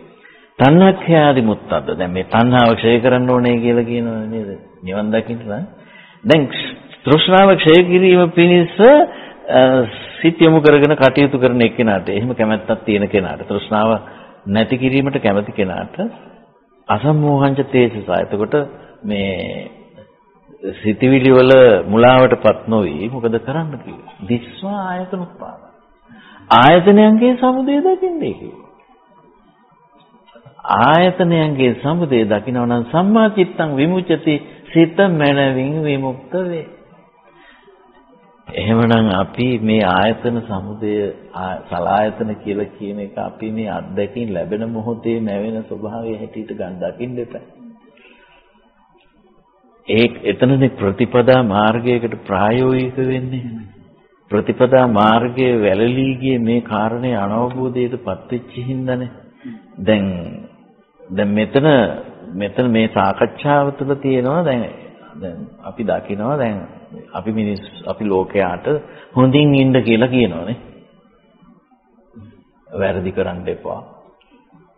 මේවා වැරදි. ඒ නිසා ඒව නොකර ඉන්න. නමුත් මනුස්සයාට සත්වයාට පුළුවන් ද වැරදි නොකර ඉන්න? නිකන් කිව්වට ඉතින් මොකද මේ ඒ මොකද වැඩ කරන්නේ මොකද? ලෝභය, ද්වේෂය, මෝහය. එහෙම නැත්නම් ආර්ය අෂ්ටාංගික මාර්ගය දැන් දුක්ඛ නිරෝධගාමිනී පටිපදාව කතා කරන්න තියෙන නිසා අපි බලමු. කාම ව්‍යාපාද විහිංසා. දැන් ලෝකයාගේ තියෙන කාම ව්‍යාපාද විහිංසා. සංකල්පනා. කාම ව්‍යාපාද විහිංසා කියලා කියනකොට ඔතන ගැන කාම කියනකොට මේ පංචකාම ගුණේ සැපේට ඇරෙන්න වෙන සැපක් නැහැ කියලා රැවටිලා ඉන්න එකනේ. ව්‍යාපාද කියන්නේ අනික් කෙනෙකුට කොච්චර පීඩාවක් හිංසාවක් වුණත් මට කමක් නැහැ කියන තැන ඉන්න එකනේ. මෛත්‍රිය නැතිකමනේ. ඊළඟට විහිංසා කියන එක පීඩාව. අරක කියමු අනික් කෙනෙකුගේ ජීවිතේ හානි වුණාට මට කමක් නැහැ කියලා හිතන එක. මම මම නැහිලා ගියාට. එතකොට ඒක මෛත්‍රිය නැතිකම. කරුණාව තමයි නැතිකම තමයි ඔය මේ විහිංසා සංකප්ප කියලා කියන්නේ. එතකොට කරුණාවෙන් මෛත්‍රියෙන් ලෝකයේ ලෝකයේ ඒ කියන්නේ අපේ ලෞකික ලෝකයේ අතහැරීමක් කරන්ද නුවණසක් එපෑ නේද? මේ සම්මාදිට්ඨියනේ ඕන කරන්නේ. දැන් මේ ඇත්ත වශයෙන් අපි මේ කතා කරපු හැම සාකච්ඡාවක්ම ඉති වෙන්නේ සම්මාදිට්ඨියටයි. අන්තිම සම්මාස දැන් ඔබ වහන්සේ විශාල විග්‍රහයක් කරගෙන ආව පැහැදිලිවම නාම රූප කියන එකේ වැදගත්කම කෙසේද බලපාන්නේ පටිච්චසමුප්පාදයට ත්‍රිලක්ෂණයට සහ චතුරාර්ය සත්‍යයට කියලා. ඒ වගේම ඔබ වහන්සේ මම හිතනවා තව පැතිකඩකට අපිව අරගෙන ගියා කියලා මේ සලායතන ක්‍රියාවලිය. එමන ඒ අවබෝධයටත් මේ නාම රූප අවශ්‍යමයි. එතකොට ස්පර්ශය ගැන ඔබ වහන්සේ කිව්වට පස්සේ එහෙනම් සලායතන සමුදයටත් මේ නාම රූප සලායතන නිරෝධයට විශේෂයෙන්ම මේ නාම රූප පිළිබඳ අවබෝධය අවශ්‍යයි. මට ඔක ওই ප්‍රශ්නේ ওই විදිහට අහනකොට මට මතක් වෙන්නේ කිංසුකෝපම සූත්‍රය. ඒක හරි වටිනා දෙයක් තියෙනවා. මොකද ඒක ස්වාමින් වහන්සේ නම ඒ විදිහට කියනකොට අර කරුණු කරල බර ටික අඩු වෙලා එනවා. ස්වාමින් වහන්සේ නමක් තවත් ස්වාමින් වහන්සේ නමකක බුදුහාමුදුරන් වහන්සේ කාලේ. එතකොට උන්වහන්සේ රහතන් වහන්සේලා හතර නමකකින් වෙන්න ඕන මේ අහන්නේ. මට කියලා දෙන්න දස්සන විසුද්ධියටපත් වෙන්නේ කොහොමද කියලා. ඕකයි ප්‍රශ්නේ. ඔහොම කිව්වහම මේ ඒ ස්වාමින් වහන්සේ කිව්වා ඔය ආයතන හය සලායතන ආයතන හය චක්කායතන සෝතායතන ගහන ආයතන ජීව ආයතන කාය ආයතන මන ආයතන කියන මේ ආයතන හයේ සමුදය අත්ගමය අස්සාදය ආදීනවේ නිස්සරණේ හරියට දැනගන්න ඕක තමයි දර්ශන විසුද්ධිය කියලා. හොඳයි. ඊට පස්සේ උන් තව හාමුදුරු නමක් හම්බෙන්න කියලා. උන්වහන්සේ ත්‍රාතන් වහන්සේ. උන්වහන්සේගෙනුත් ඇහැව්වා. උන්වහන්සේගෙන් අහපුවාම උන්වහන්සේ කිව්වේ රූප වේදනා සංඥා සංකාර විඥාන කියන උපාදාන ස්කන්ධයන්ගේ සමුදය නිරෝධය අස්සාදය ආදීන වෙනිස්සරණේ යථාභූත වශයෙන් දැක්කොත් ඒක තමයි දර්ශන විසුද්ධිය. ඊට පස්සේ තව ස්වාමීන් වහන්සේ නමක් හම්බෙලා හැවුවා. ඒ ආන්දරංගෙන් ආපුවම වහන්සේ සඳහන් කරනවා පඨවි ආපෝ තේජෝ වායෝ කියන සතර මහා භූත රූපයන්ගේ සමුදය නිරෝධය අස්සාදය ආදීනවේ නිස්සරණේ තේරුම් ගත්තොත් යථා භූත වශයෙන් දැක්කොත් ඒක තමයි නියම දර්ශන විසුද්ධිය කියලා. හා හරි උත්තර තුනයි. තව ස්වාමීන් වහන්සේ නමක් හම්බුණා. ඒ ස්වාමීන් වහන්සේ හම්බෙලා අහපම කියන යංගින්ච සමුදය ධම්මං සබ්බන්තං නිරෝධ ධම්මං කියන ධර්මයේ කාරණාව හරියට ප්‍රත්‍යක්ෂ නැහැ. ඒක තමයි දර්ශන විසුද්ධිය. මේ හාමුදුරුවෝ දැන් උඩු යටිකුරු වෙලා උත්තර හතරයි. ඈ ඉතින් දැන් උන්වහන්සේ යනවා බුදු පියාණන් වහන්සේ හම්බෙන්න. ස්වාමීනි මම මේ ප්‍රශ්නේ මේ මෙහෙම ඇහුවා. හතර නමක් මෙන්න මේ විදිහේ උත්තර හතරක් දුන්නේ. මට නම් දැන් මේක මොකක්වත් තේරෙන්නේ නැහැ. ඇයි මේ විදිහට මේ එක එක්කෙනා එක එක උත්තර දෙන්නේ කියලා. ඊට පස්සේ බුදුරජාණන් වහන්සේ සඳහන් කරනවා ඔය හතර දෙනාගේම ධර්මපරයය එකයි කියලා. දැන් එතකොට අපට හොඳටම පැහැදිලි මේ මේ දස්සන දර්ශන විසුද්ධිය කියලා කියන්නේ සෝතාපට්ටි පලඥාණයටනේ. ඒක අපිට නිශ්චයව කියන්න පුළුවන් අර යංකින්ච සමුදය ධම්මං සම්බන්තන් නිරෝධ ධම්මං කියන එක මුලින්ම දහම් මැසට එතකොට දැන් එහෙනම් ඕක ප්‍රතිඵලය වෙන්න නම් ආයතන සමුදය නිරෝධය දැනගන්න වෙනවනේ අපිටනේ. ස්කන්ධයන්ගේ සමුදය නිරෝධයක් දැනගන්න වෙනවනේ අපිට. පඨවි ආපෝ තේජෝ ආයෝ කියන මහා භූත රූපයන්ගේ සමුදය නිරෝධය දැනගන්නත් වෙනවනේ. දැන් ඕක කියනකොට නම් තව ටිකක් ගැටලු වෙනවා. ඒක කතා කරමු ඈ. පඨවි ඇතිවීම කොහොමද අපි දකින්නේ? ඒ කියන්නේ දැන් පටවි කියන්නේ තද දේවල් ඔක්කොම අපි සාමාන්‍යයෙන් අපි ඉතින් පටවි කියවම මේ මහා පෘථිවියනේ හිතන්නේ. ඈ අපි ඉතින් ඕක විද්‍යාඥයින්ගේ මෙච්චර මෙච්චර මේ අවුරුදු ලක්ෂ ගානකට යහපත් මේ මේ විදිහේ සිදුවෙන් සිදු වෙලා දැන් මේ විදිහේ මේ පෘථිවිය එහෙමනේ අපි හිතන්නේ.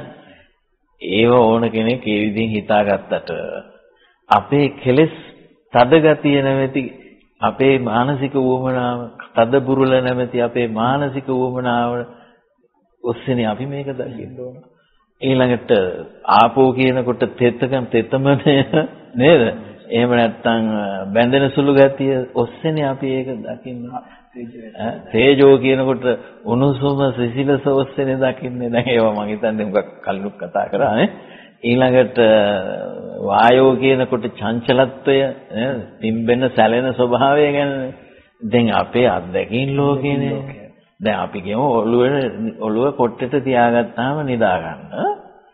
නිදසුනකුත් කියන්න එපා.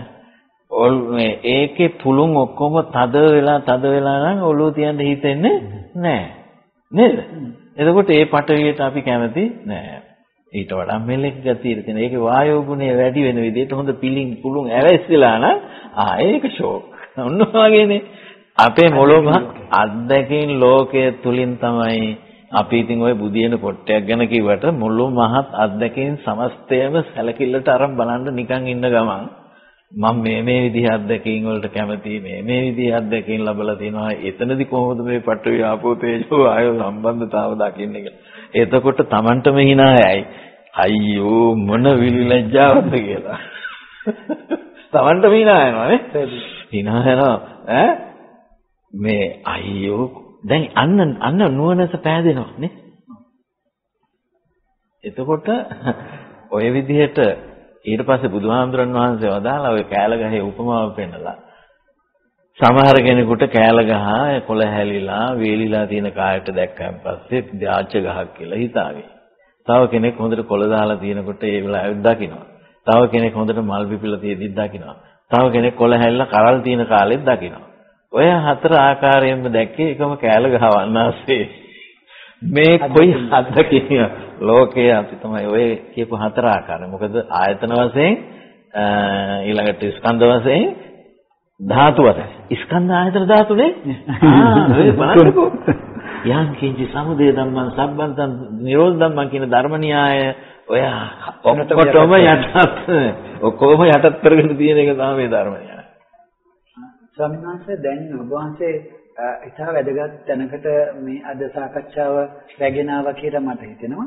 ඒකට හේතුව අපි අපි අපි සාකච්ඡා කරමින් සිටියේ නාම රූප ක්‍රියාවලිය ත්‍රිලක්ෂණයට, පටිච්ච සමුප්පාදයට, ආර්ය ස්ථාංගික මාර්ගයට, චතුරාර්ය සත්‍යයට ගලපන. මොකද බෝන්සේ අවසානය කියනකොට මේ ස්කන්ධ ධාතු ආයතනයන්ටත් මේක ගැලපීමක් කීමක් හරිම පැහැදිලි ගැලපීමක් කරා. ඒකෙදි පැහැදිලිව පැහැදිලි වුණා අර කියන මහනිදාන සූත්‍රයේදී ස්පර්ශයට පෙර තියෙන අසලයතන. එහෙනම් සලයතනික ක්‍රියාවලියටත් නාම රූපයෙන් තොරව මේ සාකච්ඡාවක් නැති තරම්. නැති තරම්. ඉතින් ස්වාමීන් අපිට තව ටික දුරටත් අපිට සාකච්ඡාකව ඉදිරියට ගෙනියොත් සුළු වශයෙන් මම හිතන අපිට කාල වේලාව මදි. ඒකට හේතුව මම ඔබ වහන්සේගෙන් අද දවස් ඇතුළත මේක ප්‍රායෝගික අපි මේ මේ පැය 8ක 10ක කාලයක් මාස 3ක කාලයක් මේ සාකච්ඡා කරපු මේ ධර්මපරියාය යම් කිසි කෙනෙක් ප්‍රායෝගිකව පුහුණු කරන්නේ කොහොමද කියන පිළිබඳව ඔබ වහන්සේගෙන් මට අවසාන වශයෙන් දෙන්න අවශ්‍යයි. ඒක තව සුළු වශයෙන් මේ ආයතන මේ ධාතු ආයතන හැටියටත් මේ නාම රූප දිහත් වීම අවශ්‍ය මේ වැදගත් වන්නේ කෙසේද කියලා සුළු වශයෙන් තව කතා කරමු. ඔව්. දැන් මෙතන මේ අපි මේ දිගින් දිගට සාකච්ඡා කළ මේ නාම රූප ක්‍රියාකාරීත්වය ස්කන්ධ වශයෙන් අපි ලෝකයේ අත්දකිනකොට ක්‍රියාත්මක වෙන්නේ ආයතන සමුදේ පැත්ත හිතනකොට ක්‍රියාත්මක වෙලා තියෙන්නේ පඨවි ආපෝ තේජෝ වායෝ කියන මූල ධාතු අත්දකිනකොට ඒ මූල ධාතු කියන ඒවා උතන තියෙන අපි ගත්තා ගත්තේ අර අපි අත්දකින මට්ටම කරනකොට එතනදී මේ නාම රූප සම්බන්ධතාව ඔස්සේ තමයි මේ අත්දැකීම් අපිට ඇවෙන්නේ. මොකද හැම දෙයක්ම පස්සේ වෙන්න බෑ. ඈ එතකොට පස්ස සමුදය සබ්බේ ධම්මාන පස්සෙන් සමුදය වෙනවා නම් එතන සලායතන එකක් තියෙනවා රූප ධර්මයක් තියෙනවා. පස්සේ වෙන්නේ රූපනමනේ. දැන් ඒ රූප කියනකොට මෙතන සුකුම රූප. ආ සූක්ෂම රූප ස්වභාවයකුත් තියෙනවානේ. ඕලාරික මට්ටම විතර නෙමෙයි. දැන් එතකොට මේ රූප කියනකොට පඨවි චත්තාරෝ චතුන්නංච මහා භූතානං උපායදාය රූපං කියලානේ කියන්නේ. එතකොට මේ වල තියෙන සම්බන්ධතාව අපි ඔක්කොම දකින්නේ මේ එකම ධර්මපරයය විවිධ ඒ එකම ධර්ම ධර්ම සත්‍යය විවිධ පරයයන්ගෙන් තමයි බුදුරජාණන් වහන්සේ දේශනා කරන්නේ. මොකද ඒ ඒ පුද්ගලයාට වැඩියෙන් අහු වෙන විදිය. දැන් අර කින්සුකෝපම සූත්‍රයේ අර රහතන් වහන්සේලා හතර නම උත්තර හතරක් දුන්නේ උන්වහන්සේලාට ප්‍රතිපදා මාර්ගයේ වඩනකොට වැදගත් වුණු විදිය අනුව. ඊළඟට අපි කලින් මතක් කරපු අර මේ මොකද සූත්‍රයේ මේ මජ්ජේ සූත්‍රයේ උනත් උත්තර හයක් වික්ෂුන් වහන්සේලා දැන් පස්ස සමුදය කියලා ඒ විදිහට කතා කරේ තව කට්ටියක් කිව්වේ අතීත අනාගත පච්චුප්පන්න කියලා තව හාරු නමක් කිව්වේ. අතීත අනාගත පච්චුප්පන්න කියන මේ මේ තුනේ අතීතේ ඒකාන්තයක් අනාගතේ අනික්කාන්තේ පච්චුප්පන්නම් මජ්ජේ කියලා. ඒ ඒ තව ධම්මපරියායක්. ඈ එතකොට තමහාඳුර කෙනෙක් කිව්වා මේ අජ්ජත්තික ආයතන එක පැත්තක් බහිද්ද පැත්තක් විඥානම් මජ්ජේ කියලා. ඈ තවහාඳුර නමක් සඳහන් කළා මේ සුඛ වේදනාව එක පැත්තක් දුක්ඛ වේදනාව අනිත් පැත්ත අදුක්කම සුඛං මජ්ජේ කියලා ඒ විදිහට ඒක බෙදාගත්තා. ඉතින් මෙහෙම මේ ඊළඟට තව ඔක හරියක තමයි පස්ස සමුදය. පස්සය, පස්ස සමුදය, පස්ස නිරෝධය මැදේ. අනික තමයි සක්කාය, සක්කාය සමුදය, සක්කාය නිරෝධය මැදේ. එතකොට අපිට දැන් සක්කාය නිරෝධය තමයි පේන්නේ නැත්තේ. විඥාණය පේන්නේ නැහැ. පස්ස මේ පස්ස නිරෝධය පේන්නේ නැහැ. ඒ මොකද තණ්හාවෙන් වැහිලා. ඉතින් මේ තණ්හා කඩතුරාවෙන් වැහිච්ච මේ සැඟවුණු යත්තේ සුඛ වේද අදුක්කම සුඛ වේදනාවේ තේරෙන්නේම නැත්තේ. ලෝභෙත් තේරෙනවා, ද්වේෂෙත් තේරෙනවා, මෝහෙත් තේරෙනවා අඩුත් ඒ හින්දානේ. ඔන්න ඔය දිහා බලනකොට මේ ධර්මපරියාය විචිත්‍රාකාරයේ බුදුරජාණන් වහන්සේ දේශනා කළේ ඒ ඒ පුද්ගලයාට ඒ ඒ ආකාරයෙන්. ඉතින් එතනදිත් මේ මජ්ජේ සූත්‍රයේදීත් බුදුහාඳුරෝ කතා සඳහන් කළා ඔය හය දෙනාම හරි. හැම හය දෙනාගේම කතාවල සුභාෂිතයි. නමුත් මම ඒ වෙලාවේ විසමෙත්තේ සූත්‍රයේ ඔය ගාථාව වදාලේ මේ පස්සේ ගැන හිතලයි කියලා.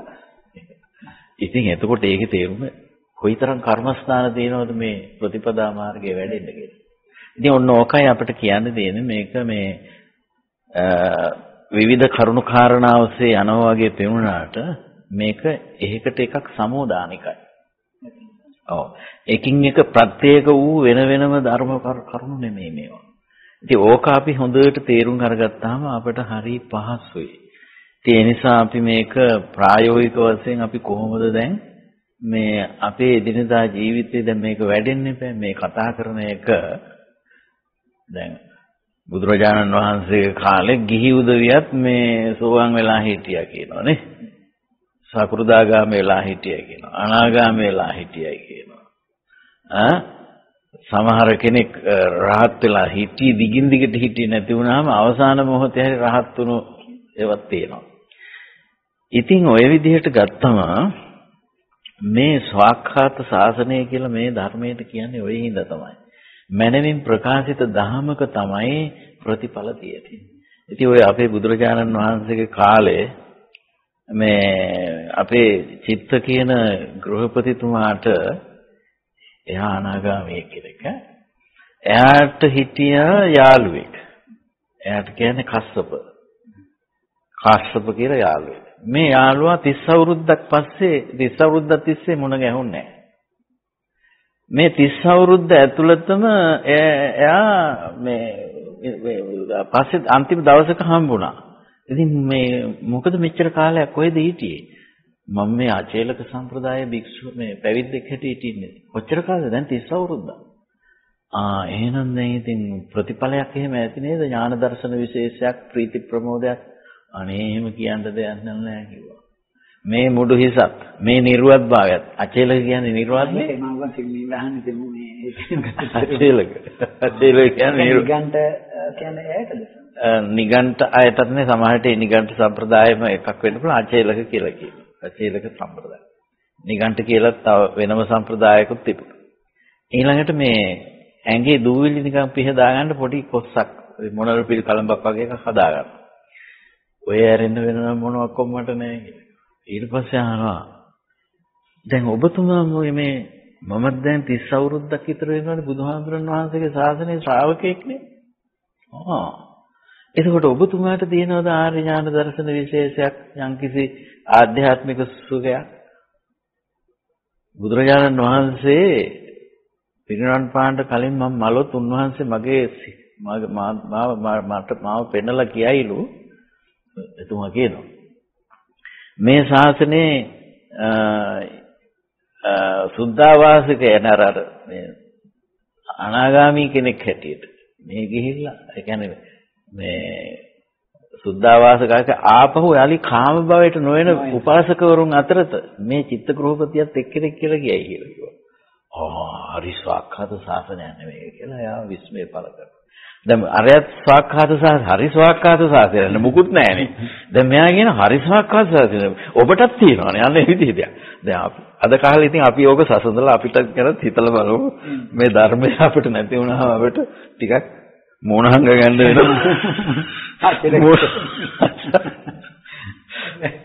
ඉතින් ඔන්න ඔය වගේ දේවල් තියෙනවා ඉතින් හරි වැදගත් දේවල්. අපේ දහම ඔබ වන්ති දැන් කියපතිට ස්වකහතයි. මේ මොහොතේ. ප්‍රතිඵල ගන්න පුළුවන්. පුළුවන්. ඒකට ඔබ වන්ති දැන් කියන්න උත්සාහ කරන උත්සාහ කරන ටික ඒක තමයි. ඉතින් ඒ නිසා දැන් අපි අර සාකච්ඡාවට කීපේ මුල මුලින්මත් අපි සඳහන් කළා මේ නොඑක් නොඑක් කරුණු කාරණාවල් වල අපිව රස්තියාදු ගස්සන්න නැතුව අපිට හිතාගන්න බැරි දේවල් ඔස්සේ අපිව දුවවන්න නැතුව බුදුහාඳුරෝ අපේ මේ ප්‍රත්‍යুৎපන්න අත්දැකෙන තැන ඉඳගෙන මේ ධර්මයේ තේරුම් ගන්න පුළුවන් විදියට අපට ධහම කියලා දුන්නා කියන ටික අපි කිව්වා. දැන් මේ වැඩේ සරල ලෙස පුද්ගලයා තුළ ආරම්භ වෙන්නේ කොහොමද කියලා අපි බලමු. ඉතින් මේවා කියනකොටම සෝවන් වෙච්ච අය හිටියා. කියනකොටම සකෘදාගාමී වෙච්ච අය අනාගාමී වෙච්ච අය රහත් වෙච්ච අය හිටියා.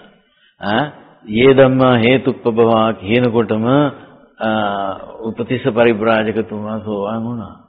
ඒ සංයුතුන් තථාගතෝ අහගෙන. තේ සංචයෝ නිරෝධෝ එවං වාදී මහා සමනෝ කියන ටිකත් අහනකොට කෝලිත පරිබ්‍රාජකතුමා සෝවාන් වුණා. ඈ ඉතින් ඊට වඩා දීර්ඝ වශයෙන් ධර්මයේ දේශනා කරගෙන කරගෙන යනකොට තමයි කාටද කොණ්ඩඤ්ඤ හාමුදුරන්ට පළවෙනි වතාවට තේරුණා කියලා තියෙන්නේ කණ්ඩායම් බෙද බෙද පින්ඩ පාතේ ආවමින් මේ වෙන මේ දෙන්නට දෙන්නට වෙන වෙනම බණ කී කිය බුදුහාමුදුරුවෝ හැදුවනේ. මේක. ඈ? ඉතින් ආන් ඒ විදිහේ එක එක්කෙනාට එක එක විදිහට මේක බාහ්‍ය දාර්ශනිකය සැනකින් තේරුම් අරගත්තා. ඉතින් ඒකේ තේරුම සංසාරික වශයෙන් මේ සම්්‍ය සම්බුදුවරුන් වහන්සේලාගේ ශාසන ඇසුරු කරපු උදවිය බොහොම ඉක්මනින් තේරුම් ගන්න පුළුවන් අය ඉන්නවා. ටික ටික තේරුම් ගන්න පුළුවන් අය ඉන්නවා. ඉතින් අපි මේක ටික ටික තේරුම් ගන්න පුළුවන් විදිය කතා කරමු. ඒක රෝණ කරන්නේ අපිට පුළුවන් එච්චරනේ. ඊට වඩා දෙයක් කරන්න අමාරුයි. ඉතින් අපේ බුදුරජාණන් වහන්සේ මේ ශාසනයට දුන්නු වචනයක් තියෙනවා. මොකද්ද මේ දහමට ස්වාක්ඛාතෝ කියලාමයි පටන් ගත්තේ නේ. සු අක්ඛාත මනමින් ප්‍රකාශිතයි. එහෙනම් මනමින් ප්‍රකාශිත විදිහ අපි දැනගන්න ඕන. ස්වාක්ඛාතෝ භගවතා ධම්මෝ සම්දිට්ඨිකෝ සම්දිට්ඨිකයි. ඒ කියන්නේ මෙහිදීම අපිට මෙය ප්‍රතිඵල ගන්න පුළුවන්. අකාලිකයි. කල් යවන්න දෙයක් නැහැ.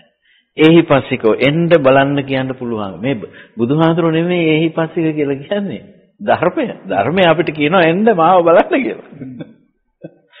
ඕපනයික ක්‍රම ක්‍රමයෙන් ඉදිරියට අපිව පමුණුවන බැවින් ඕපනයික. පච්චත්ත වේතබ්බ විඤ්ඤෝයේ. නුවණත් වූ විසින් තමා උදෙසා තමා ප්‍රත්‍යාත්ම වේදනීය වශයෙන් දැනගන්නවා කියලා කියන පච්චත්ම වේතබ්බක තමන් මම මා උදෙසා තේරෙන. අනෙක් කෙනා අනෙක් උදෙසා තේරුම් ගන්නවා. ඉතින් එක්තරා අවස්ථාවක බුදුරජාණන් වහන්සේගෙනුත් මම හිතන්නේ මේ මේ කප්ප මානවකයාද කොහෙද ඇවිල්ලා ඇහුවනේ මගේ සියලු සැක සංකා නැති කරන්න කියලා. බුදුහාඳුරව වදාලා අනික් කෙනෙකුගේ සැක සංකා නැති කරන්න මට බෑ. ධර්මයේ දැනගන්න පුහුණු වෙන්න එතකොට පුළුවන්. ඈ මොකද මේක සාකච්ඡා කරලා කරන මේ සැක සංකා දුරු කර ගැනීමක් නෙමෙයි නිසා. ඉතින් අපි සාකච්ඡාව කොතනද තියෙන්නේ? ධර්මාවය ඉස්සල්ලාම පණිවිඩේ ලබා ගැනීමටනේ. සද්ධා ජාතෝ උපසංඛවති. ටික ටික හරි දැන් මේකට ශ්‍රද්ධාව ඇති වෙන්න පටන් ගත්තාන් පස්සේ පිළිගැනීමක් හිතට එනකොට තමයි එන්න පටන් ගන්නේ. උපසංගමිත්වා පායුරුපාසිත. ඇවිල්ලා ළඟින් වාඩි වෙනවා. පායුරුපාසන්තෝ සෝතං ඕදාති. ළඟින් වාඩිලා අහනවා. ඕහිත සෝතෝ ධම්මං සුනාති කිව්වේ ඒකයි. සුත්වා ධාරේති අහලා ධර්මයේ දරනවා. දතානං ධම්මානං අත්තං උපපරික්කත. දරූ ධර්මයේ අර්ථത്തെ පරීක්ෂා කරලා බලනවා. අත්තං උපපරික්කතෝ නිජ්ජානං කමති. මෙහෙම අර්ථ පරීක්ෂා කරන්න කරන්න ටික ටික තේරෙන්න ගන්නවා. නිජ්ජාන කාන්ති ආසති ඡන්දෝ තේරෙන්න තේරෙන්න කැමැත්තක් ඇති වෙනවා සාසනය ගැන. ප්‍රතිපදාව ගැන. අනේ මේ සංසාරේ අපි හැමදාම ජරා මරණ දුකට වැටි වැටි, ලෝභය, ද්වේෂය, මෝහය නිසා දුගති වලට වැටි වැටි මොන මොන දෙයක්ද මේ ඉන්නේ? දැන් අපි මිනිස් නැමැති සුගතියේ හිටියත් අද අපි ඉන්නේ මොන මොන ඒවා වෙයිද දන්නේ කියලා අවදානමෙන් මේ මිනිස්සු ඉන්නේ. දැන් තියෙන ගොඩනගලා ඒ හේතුව ඒකයි. දැන් අපිත් ඒ වගේ කාලෙක ඉපදලා ඉන්න මම හිතන්නේ ඒක සංසාරික කර්ම ගැළපීමක් උතන ඇති. ඒ නිසා තමයි ඒ පීඩනයත් වරින් වර අපේ හිතට එන්න පුළුවන්. ආ මොනවා වේද දන්නේ නැහැ කියලා. ඒ වගේ ස්වභාවයක්. දැන් එතකොට මේ සසර ස්වභාවය ඒකයි. මොකද මෙතන සම්මානස පොඩ්ඩක් ඔබ වහන්සේට බාධා කරනවා. දැන් ඔබ වහන්සේ කියන පරයය කොතරම් ගැඹුරු විදියට අධ්‍යයනය කරලාද මේක අවබෝධයට ගත යුත්තේ. නමුත් සමාජගත වීමක් තියෙනවා. බණ අසූපමණින් සෝවන් වෙනවා ආ රයිට් මේකත් පොඩ්ඩක් පහදලා දුන්නොත් හොඳයි දැන් ඒ කියන්නේ එතෙන්දි පැහැදිලි වෙන්නේ ස්වාමීන් වහන්සේ බණ කියපු ප්‍රශ්නේ සෝවන් වෙන්න පුළුවන් කියන මිත්‍යාවට තමයි මේ ඇවිල්ලා තියෙන්නේ. යන්නේ. ඒතර දැන් මේ කියන විදිහට. මේ මේ මේ මේ කියන සූත්‍රයක් අනුසාරයෙන් ඔබ දැන් අපිට මනාව පැහැදිලි කරා. මේ සමුදයත් අත්ංගමයත් ආශාරයත් ආදීනව නිසරණ කියන මේ පස් වැඩෑරුම් අවබෝධය තුල නේද ස්වාමීන් වහන්සේ? සෝහන් අන්න ඒකනේ. දැන් ඇත්ත වශයෙන්ම ඔය අස්සාද ආදීනව නිස්සරණ ගැන කතා කරනකොටම ඕක තියෙනව නෙත්තිප්පකරණේ සඳහන් වෙලා අස්සාද ආදීනව නිස්සරණ කියන තුන් ආකාරයේ දේශනා කරනවලු මේ මේ ඤෙය්‍ය පුද්ගලයෙක්. ඒ කියන්නේ බණ අහලා කරුණු කාරණා දැනගෙන වඩන කෙනාට ඈ එතකොට මේ විපන් විපංචිතඤ්ඤ පුද්ගලයාට දේශනා කරනවලු මේ මොකද්ද අස්සාද මේ මේ නෙමෙයි ආදීනව නිස්සරණ දෙක විතරක් කිව්වම ඇති කියලා. අර උග්ගටිතඤ්ඤ පුද්ගලයාට නිස්සරණය විතරක් කිව්වම ඇති කියලා. දැන් ওই බාහිර දාර්ශීරිය හාමුදුරුවන්ට උන්වහන්සේ සිවුරක් දැරුවේ නැතත් අපි හාමුදුරු රහතන් වහන්සේ උන්වහන්සේ අපේ 80 මාස ශ්‍රාවකයන්ගේ ලයිස්තුවේ ඉන්නවා. උන්වහන්සේ සිවුරක් දාරන්න හම්බුන්නේ එසේ නමුත් උන්වහන්සේ කාශ්‍යප බුදුහාමුදුරන් වහන්සේගේ කාලයේ දරන ලද ප්‍රයත්නය ආනිසංසය. ඒ ඒ සංසාර හුරුව ඉස්මතු වෙලා උන්වහන්සේට දිත්තේ දිත්තමත්තන් කියනකොට වැඩපිළිවෙල සකස් වෙලා දැන් අපි හැම කෙනෙකුටම එහෙම බෑ. ඒ නිසා අපි ධර්මය අහන්න ඕන. අන්න කල්යාණ මිත්‍ර ආශ්‍රය කියන එකේ තියෙනවා. මොකද බුදුහාමුදුරන් වහන්සේ සෝතාපට්ටි අංග හැටියට හතරක් පෙන්වුවා. ඕක සෝතාපට්ටි අංග හැටියට පෙන්වනවා වගේම සෝතාපන්න, සකෘදාගාමි, අනාගාමි, අරහත් කියන අවස්ථා හතරටම මම හිතන්නේ ඔය කිංසුකෝපම සූත්‍රයේ ළඟට මේ සූත්‍ර හතර තියෙන පෙළට මේ සංයුත්නිකායේ පහේ මේ තියෙන්නේ ඔය හතර ඔය හතරම තමයි හතරෙම අවධාරණය කරලා තියෙන්නේ. මොනවද? කල්යාණ මිත්‍ර ආශ්‍රය. සද්ධර්ම ශ්‍රවණය. ඈ ඊළඟට මේ යෝනිසෝ මනසිකාරය. අන්න යෝනිසෝ මනසිකාරය ශ්‍රාවකයා තුළ පිවිදෙන්න තමයි අපි ධර්මය හඳුන්වලා දෙන්න ඕන. ධම්මානුධම්ම පටිපත්තියට යන්නේ එතකොට යනවා. ඉතින් ඔය කියන ආකාරයෙන් මේ ධම්මානුධම්ම පටිපත්තියට යන පුද්ගලයෝ දැන් අපි අර කලිනුත් කතා කරන සෛක්ෂෝ හත් දෙනෙක් ඉන්නවා කියන්නේ. අපි එහෙනම් කතා කරලා බලමු පළවෙනි සෛක්ෂයා ගැන. මේ ශාසන මාර්ගයට අයිති පළවෙනි එක්කෙනා ගැන. මම මෙහෙම කතා කරනකොට තව පොඩි වචන ටිකක් මතක් කරන්න ඕන ඉස්සරලා බුදුහාඳුරෝ මේ ධර්ම දේශනා කළේ සිව් පිරිසට. භික්ෂු භික්ෂුණී උපාසක උපාසිකා. එතකොට මේ ගිහි ජීවිතය ගත්තාම මේකේ තියෙන ප්‍රභේද දෙකක්. ගිහි යෝදාත වසනා කාමභෝගී, ගිහි යෝදාත වසනා බ්‍රහ්මචාරී. දැන් බ්‍රහ්මචාරී වෙන්නත් වෙලා නැති අය ඉන්නෝනේ. එනි ගිහි යෝදාත වසනා කාමභෝගී. මේ කාමභෝගී ගිහි යෝදාත වසනා කාමභෝගී මට්ටමේදී සෝතාපන්න සකෘදාගාමි අවස්ථා දෙකම වළංගු සාසනයක්. ඉතින් ඒ නිසා ඔය වච්චකොත්ත පරිබ්‍රාජකයා පව වරද බුදුහාමුදුරන් වහන්සේගෙන් මේ කරුණු කාරණා ගැන අහලා මේ ශාසනය සිව්පිරිසේ සකස් වීම ගැන අහලා සතුටටපත් වෙලා දැන් එහෙනම් මම මීට කල මේන් පස්සේ ආයෙ වෙන ශාසන හොයන්න යන්නේ නැහැ. මට දැන් තේරෙනවා මේක පිරිපුන් ශාසනය මොකද සමනස්ස කෝතමස්ස ශාවකා සගහට්ට පබ්බජිතා ගිහියන් හා පැවිද්දන් සහිත මේ ශ්‍රවණ බවත් ගෞතමයන්ගේ ශ්‍රාවකයෝ නිබ්බාන නින්න නිබ්බාණයට නිම්නව ගමන් කරනවා. නිබ්බාන පෝණ නිවන් පැත්තට ඇලව ගමන් කරනවා. නිබ්බාන පබ්බාර නිවනට නැඹුරු වෙලා ඉන්නවා. නිබ්බාණං ආහචිතිත නිවනේ හැපී සිටිනවා. මේ සිව් පිරිස. ආය මේක මේ මහණුණාම විතරයි කියන කතාවක් නෙමෙයි. අන්න ඒ කාරණේ දැකලා එයා ඒ කාරණේ මතකයි. ඒකට උපමාවක් පෙන්වුවා කොහොමද? සෙයිතාපි ගංගා නදී සමුද්ද නින්නා සමුද්ද පෝනායි. මේ ගංගා නැමැති නදිය නිම්න වෙලා ගමන් කරන්නේ සමුද්‍රයටමයි. ගිහලා සමුද්‍රයට වැටලා ඉවරනවා වගේ. ඔබ වහන්සේගේ සිව් පිරිසම නිවනට නැඹුරුව ගමන් කරනවා. ඒ නිසා ගිහි ඕදාතෝසන කාම්භෝගී උපාසකන්ට උපාසිකාවන්ට ඉඩ ඇති සසුනක් නම් මෙය පිරිපුන් සසුනක් මම මෙහි මහාන වෙනවා කියලා කිව්වා. එහෙමයි මේ ශාසනය මහාන වෙන්නේ. වච්චගොත්ත පරිබ්‍රාජකය. ඒ මහාන වෙන වෙලාවේ කියා හිටියේ මේ බුදුහාමුදුරු කියා හිටියා ඒ මහානකම ඉල්ලනකොට මේක ඉතින් අන්‍ය මේ තීර්ථකයෝ මහාන වෙනවා නම් ආර මාසයක පරිවාස කාලයක් ගත කරනවා. ප්‍රොබේෂනල් පීරියඩ් එකක්. උදා එතුමාගේ නම මොකක් කියලාද? තුන් මාසෙට මම අවුරුදු හතරක් බලන් ඉන්නවා. ඒ තරම් ප්‍රබල දෙයක් මේ බුදුහාමුදුරන් වහන්සේ ලෝකෙට දුන්නු පණිවිඩය. ඔය හැම තැනම තියෙනවා අච්චරියම් පන්ති, අබ්බුතම් පන්ති කියලා තමයි මේ ධර්මයේ දැක්කේ. ඒකත් විග රස කරන්න ඕන හින්දා මං කියන්නම්. මොකද්ද මේකේ තේරුම? අච්චරියන් අසුරු ගසන්ට වටින්නේමයි කියන එකයි කිව්වේ. හා ඒත් මොකද අද ඉන්න අය මන් දන්නේ නැහැ එහෙම හිතනවද කියලා. ධර්මයේ වටේ එහෙම හිතන අය ඇති. නමුත් අඩු වෙලා නේ. ඊළඟට අනික මොකක්ද දන්නවද? අද්භූතම් බන්ති. නොවෙච්ච දෙයක් ස්වාමීන් වහන්සේ කිව්වා. මේ අද්භූතම් බන්ති. මෙච්චර කාලයකට නොවෙච්ච දෙයක්. අන්න ඒ විදිහේ විශේෂ දහමක් අපේ බුදුරජාණන් වහන්සේ ලෝකයට දෙන්නේ.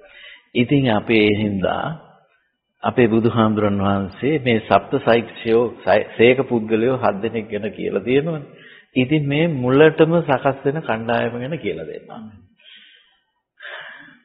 ඒ අය මොනවද දහමේ දකින්නේ?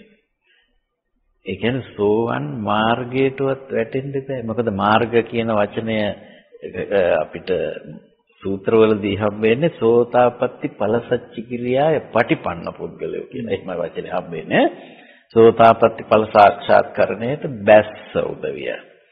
දැන් අපි එබඳු කෙනෙක් එබඳු එබඳු වටිනකමක් පුද්ගලයෙකුට ලැබෙන්නේ පුද්ගලයෙකුට ධර්මය තුලින් පිරිනම පිරිනැමෙන්නේ මොන විශේෂතාවන් තේරුම් ගත්තොත්ද කියලා. දැන් අපි අර සාකච්ඡාවේදී ආවනේ අර ස්කන්ධ ආයතන ධාතු කියලා හතරකට. ස්කන්ධ ආයතන ධාතු තුනයි නේ. එතකොට හතරවෙනි යංකින්ච සමුදය ධම්මං සම්බන්තං නිරෝධ ධම්මං. එතකොට මේ ස්කන්ධ ආයතන ධාතු කියලා මේ සත්‍යයේ බෙදීමක් සිද්ධ කරන්නේ ඇයි? ආයතන වශයෙන් බලන්නේ ඇයි? මොකද දැන් අපිට අපේ ජීවිතය අපේ මේ සකස් වීම තේරුම් ගන්න පුළුවන් හතර තුන් ආකාරයෙන් මේ? ආයතන සම්බන්ධතාව ඔස්සේ අපිට අපිව තේරුම් ගන්න පුළුවන්. ඈ? ඊළඟට පුළුවන් මේ ස්කන්ධ ඔස්සේ ස්කන්ධ රූප වේදනා සංඥා සංකාර විඥාන ඔස්සේ තේරුම් ගන්න පුළුවන්. ඊළඟට පුළුවන් ධාතු පඨවි ආපෝ තේජෝ ආයෝ ආකාශ විඥාන කියන්නේ ධාතු කියලා. එතකොට දැන් මේ අප පිළිබඳ දේවල් වෙන වෙන කොහේවත් වෙන තියෙන දේවල් මෙතෙන්ට ගන්න ඕනේ ආය වෙන කිසි දෙයක් නැතුව මේවා මේ තුල අපේ අත්දැකීමට මේ ස්වභාවයන් සමුද වෙන්නේ කොහොමද කියලා තේරුම් අරගන්න පටන් ගන්න එක තමයි මේ තියෙන්නේ. දැන් අපි දන්නවා අපේ බුදුහාමුදුරුවෝ මේ ඔය ඔය ඔය කියන අවස්ථාව හඳුනන පුද්ගලයෝ දෙන්නේ නම් කරනවා. සද්ධානුසාරී පුද්ගලයා සහ ධම්මානුසාරී පුද්ගලයා කියලා. ඈ මේ සද්ධානුසාරී ධම්මානුසාරී දෙන්න දන්නේ මොනවද? මේ තාම සෝවන් වෙච්ච අය නෙමෙයිනේ. ඒ අය මොනවක්වත් දන්නේ නැහැ. සෝවන් සෝවන් ඵලයේ தත්ත්වය නිකුත් නැහැ. නමුත් ඊට අදාළ වූ පසුබිමක් පරිසරයක් ඒගොල්ලෝ ගාව සකස් වෙලා තියෙනවා. ඉතින් ඒක කොයි වගේද කියනවනම් ඔය චූල ගෝපාල සූත්‍රයේදී බුදුහාමුදුරන් වහන්සේ සඳහන් කරනවා මේ ශාසනය ගවරෑනක් හැටියට ගත්තොත් ගෝපිතරා ගෝ පරිනායකා කියන්නේ රාහතන් වහන්සේලා. අද දවසේදී ඉපදිච්ච වහුපැටියෙක් ඉන්නවා මේ ගවරෑනේ. හරිද? එයා කොහොම කෙනෙක්ද? අද දවසේ ඉපදිච්ච වහුපැටියානේ. මොනවද නැගිටින්න කරන්නේ? ඔව් නමුත් එයා නැගිටිනවා. මොකද විනාඩි 15ක් 20කින් එයා රවුමක් දුවන්නේ නැද්ද? ඉපදිලා අම්මගෙන් කිරි ටිකක් බොන්නේ නැද්ද? අන්න ඒ මට්ටමක් තියෙනවා. අද දවසේ උපන් වහුපැටියා. මේ සද්ධානුසාරී ධම්මානුසාරී දෙන්නත් අන්න ඒ මට්ටමේ වගේ කියලා කියන්නේ. චූලගෝපාල සූත්‍රය. දක්ෂ ගව පාලනය කරන කෙනෙක් තමන්ගේ ගවරෑන ගඟකින් ඉගොඩ කරනකොට දෙගොඩ තලා ගඟ ගලා යන මොහොතක මිනිසුන් යන්නේ නැ තැනක් බලන්නෙත් නැතුව කොහේ හරි ඉබාගාත ගවරෑන ගඟට බැස්සුවොත් ගවරෑන අනතුරටපත් නමුත් දක්ෂ ගවපාලකයා ගඟ දිය බහැලා ගියාම මිනිසුන් යන එන තොටුපළක් බලලා තමන්ගේ ගවරෑන ගඟෙන් ඉගොඩ කරන්න බස්සනවා හැන්දෑ කරේ දැන් අනිත් පැත්තට යන්න. අද දවසේ ඉපදිච්ච වහු පැටියත් අර මව් දෙනගේ හඬින් පෙළඹිලා යනවලු අර ගඟ තරණය කරගෙන. ආ සෝතං චෙත්වා සොත්තිනා පාරංගම. අන්න ඒ වගේ මේ සද්ධානුසාරී ධම්මානුසාරී අයත් මගේ ශාසනේ මාරස සෝතං චෙත්වා මාර්යාගේ සැඩපහර සිඳගෙන සොත්තිනා පාරංගමිස සුවසේ සසරි ගෙතරට කොපමණ ලස්සන උපමාවද. ඒක තමයි.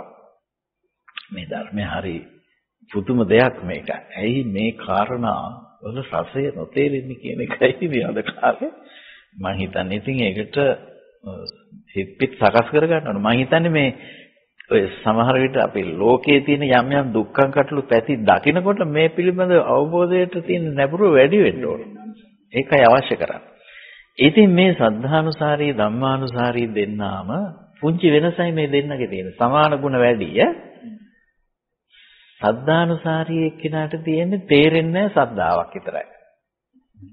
ධර්ම අවබෝධය අඩුයි නමුත් සද්ධාව. ඔව්. ධම්මානුසාරී එක්කිනාට තියෙන්නේ ටිකක් ධර්මයේ තේරෙනවා. මොන වෙනස? ඒකට කොහොමද සඳහන් වෙන්නේ? මත්තසෝ නිජ්ජානං කමන්නේ. තථාගත පවේදිත චස්ස ධම්මා මත්තසෝ නිජ්ජානං. මාත්‍ර වශයෙන් තේරෙනවා. මත්තසෝ කිව්වේ ඒකයි. අරයට තියෙන්නේ මොකද්ද? සද්ධා. සද්ධාති අදිමුච්ඡති කියලා වචන දෙකක් තියෙනවා. සද්ධාති කියන්නේ පිළිගන්නවා. අදිමුච්ඡති කියන්නේ ඒක එහෙම තමයි කියලා පිළිගන්න අකමැත්තක් නැහැ. තාම නුවණින් ගැඹුරට විනිවිද පෙනෙන්නේ නැහැ. ඉතින් ඕක ඊට වඩාත් මේ තව කතා කළ යුතු පැත්තක් තියෙන අර දෛනික වශයෙන් කොහොමද වඩන්නේ කියන එක. අපි මේක කියලා ඉමු. වෙලාව තිබුණොත් විතරක් අනිත් පැත්තටත් යන්න ඈ. මොකද දැන් අරබපු එක නිසා මේක ඉවරයක් වෙන්න ඕන. එතනදී අපේ බුදුරජාණන් වහන්සේ ඔය ඔක්කාන්ති කියලා සූත්‍ර කොටසක් තියෙනවා. ඔක්කාන්ති සංයුත්තේ කියලා සංයුත්ත නිකායේ කොටසක් තියෙනවා.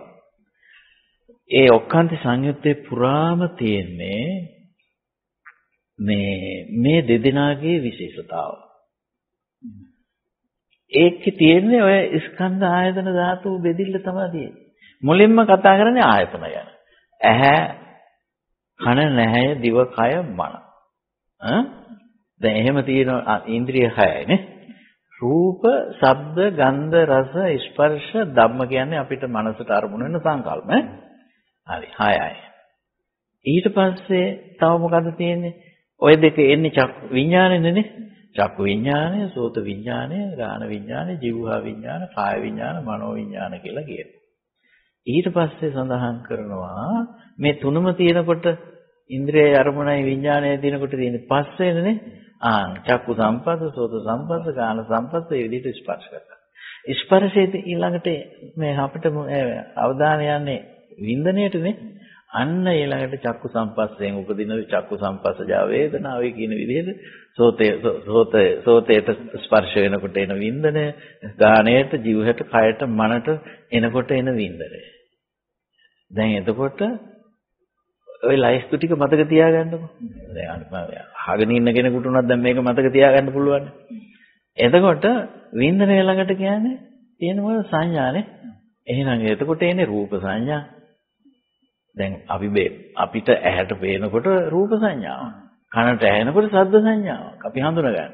ගන්ධ සංඥා, රස සංඥා, පොට්ටබ්බ සංඥා, ධම්ම සංඥා.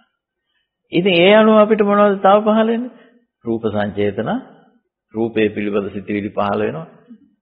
දැන් මේ නාම රූප කතාව ඔස්සේම නේද මේකත් තේරෙන්නේ?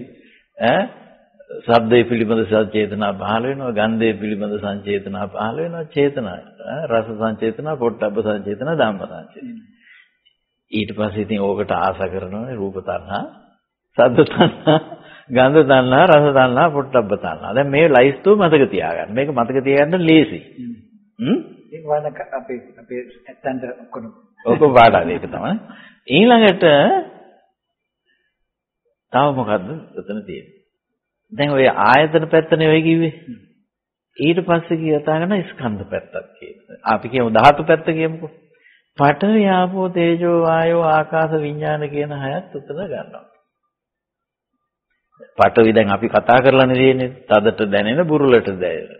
ඈ තෙතට දැනෙන මේ මේ අනේ විදිහට ඈ ඒ විදිහ අපේ අත්දැකීම් වලට අපි කැමති වෙනවනේ දැන් අපි ආහාරයක් ගන්න ගියායින් පස්සේ බත ඉදිලා මදි නම් කන්න කැමති නෑනේ පටවි ගතිය වැඩි වෙලානේ නේ ඈ පපඩම් පෙඟිලා නම් ඒ කන්න කැමතිත් නෑනේ මොන ඔය විදිහට හැම අත්දැකීමට තේරුම් ගන්න ඕන.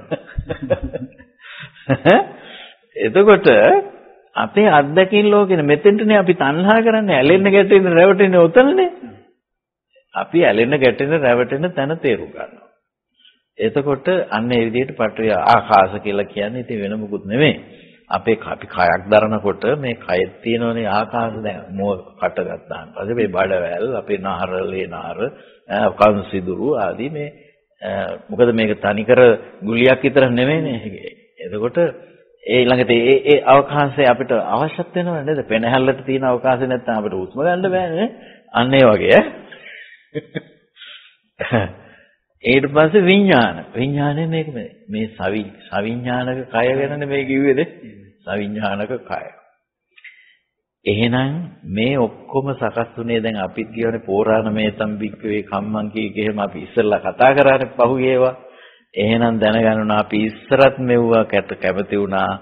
ඉස්සරත් ලැබුණා ඒව නැතුව ගිහිල්ලා දැන් දැන් හම්බෙච්ච එක අල්ලගෙන දැන් හම්බෙච්ච හම්බෙන හම්බෙන එක අල්ලගනිමින් දැන් මේ ඉන්නේ කියලා දැනගන්න. එහෙනම් අපේ සමස්ත අද්දකින් ක්‍රියාවලියම යන්නේ මේ ස්කන්ධ ආයතන ධාතු. දැන් එහෙනම් අනිත්‍ය බලන්න ඕන කරන්නේ පිටස්තර දේවල් වල නෙමෙයිනේ. ඈ? ඕකෙත් දැන් තියෙනවනේ ඇහැ ඉඳන්නේ පටන් ගත්තේ. ඇහැ අනිත්‍යයි කියනකොට මේ කන්නඩි දාන්න මේ මේ පොට්ට වෙන එක ගැන අනිත්‍යතාව කියලා හිතලත් බෑනේ. ඈ? මේ ඇස කියන ඉන්ද්‍රියයක් අත්දැකීම් වලට සමුදේ වෙන එක දැනගන්න එපා.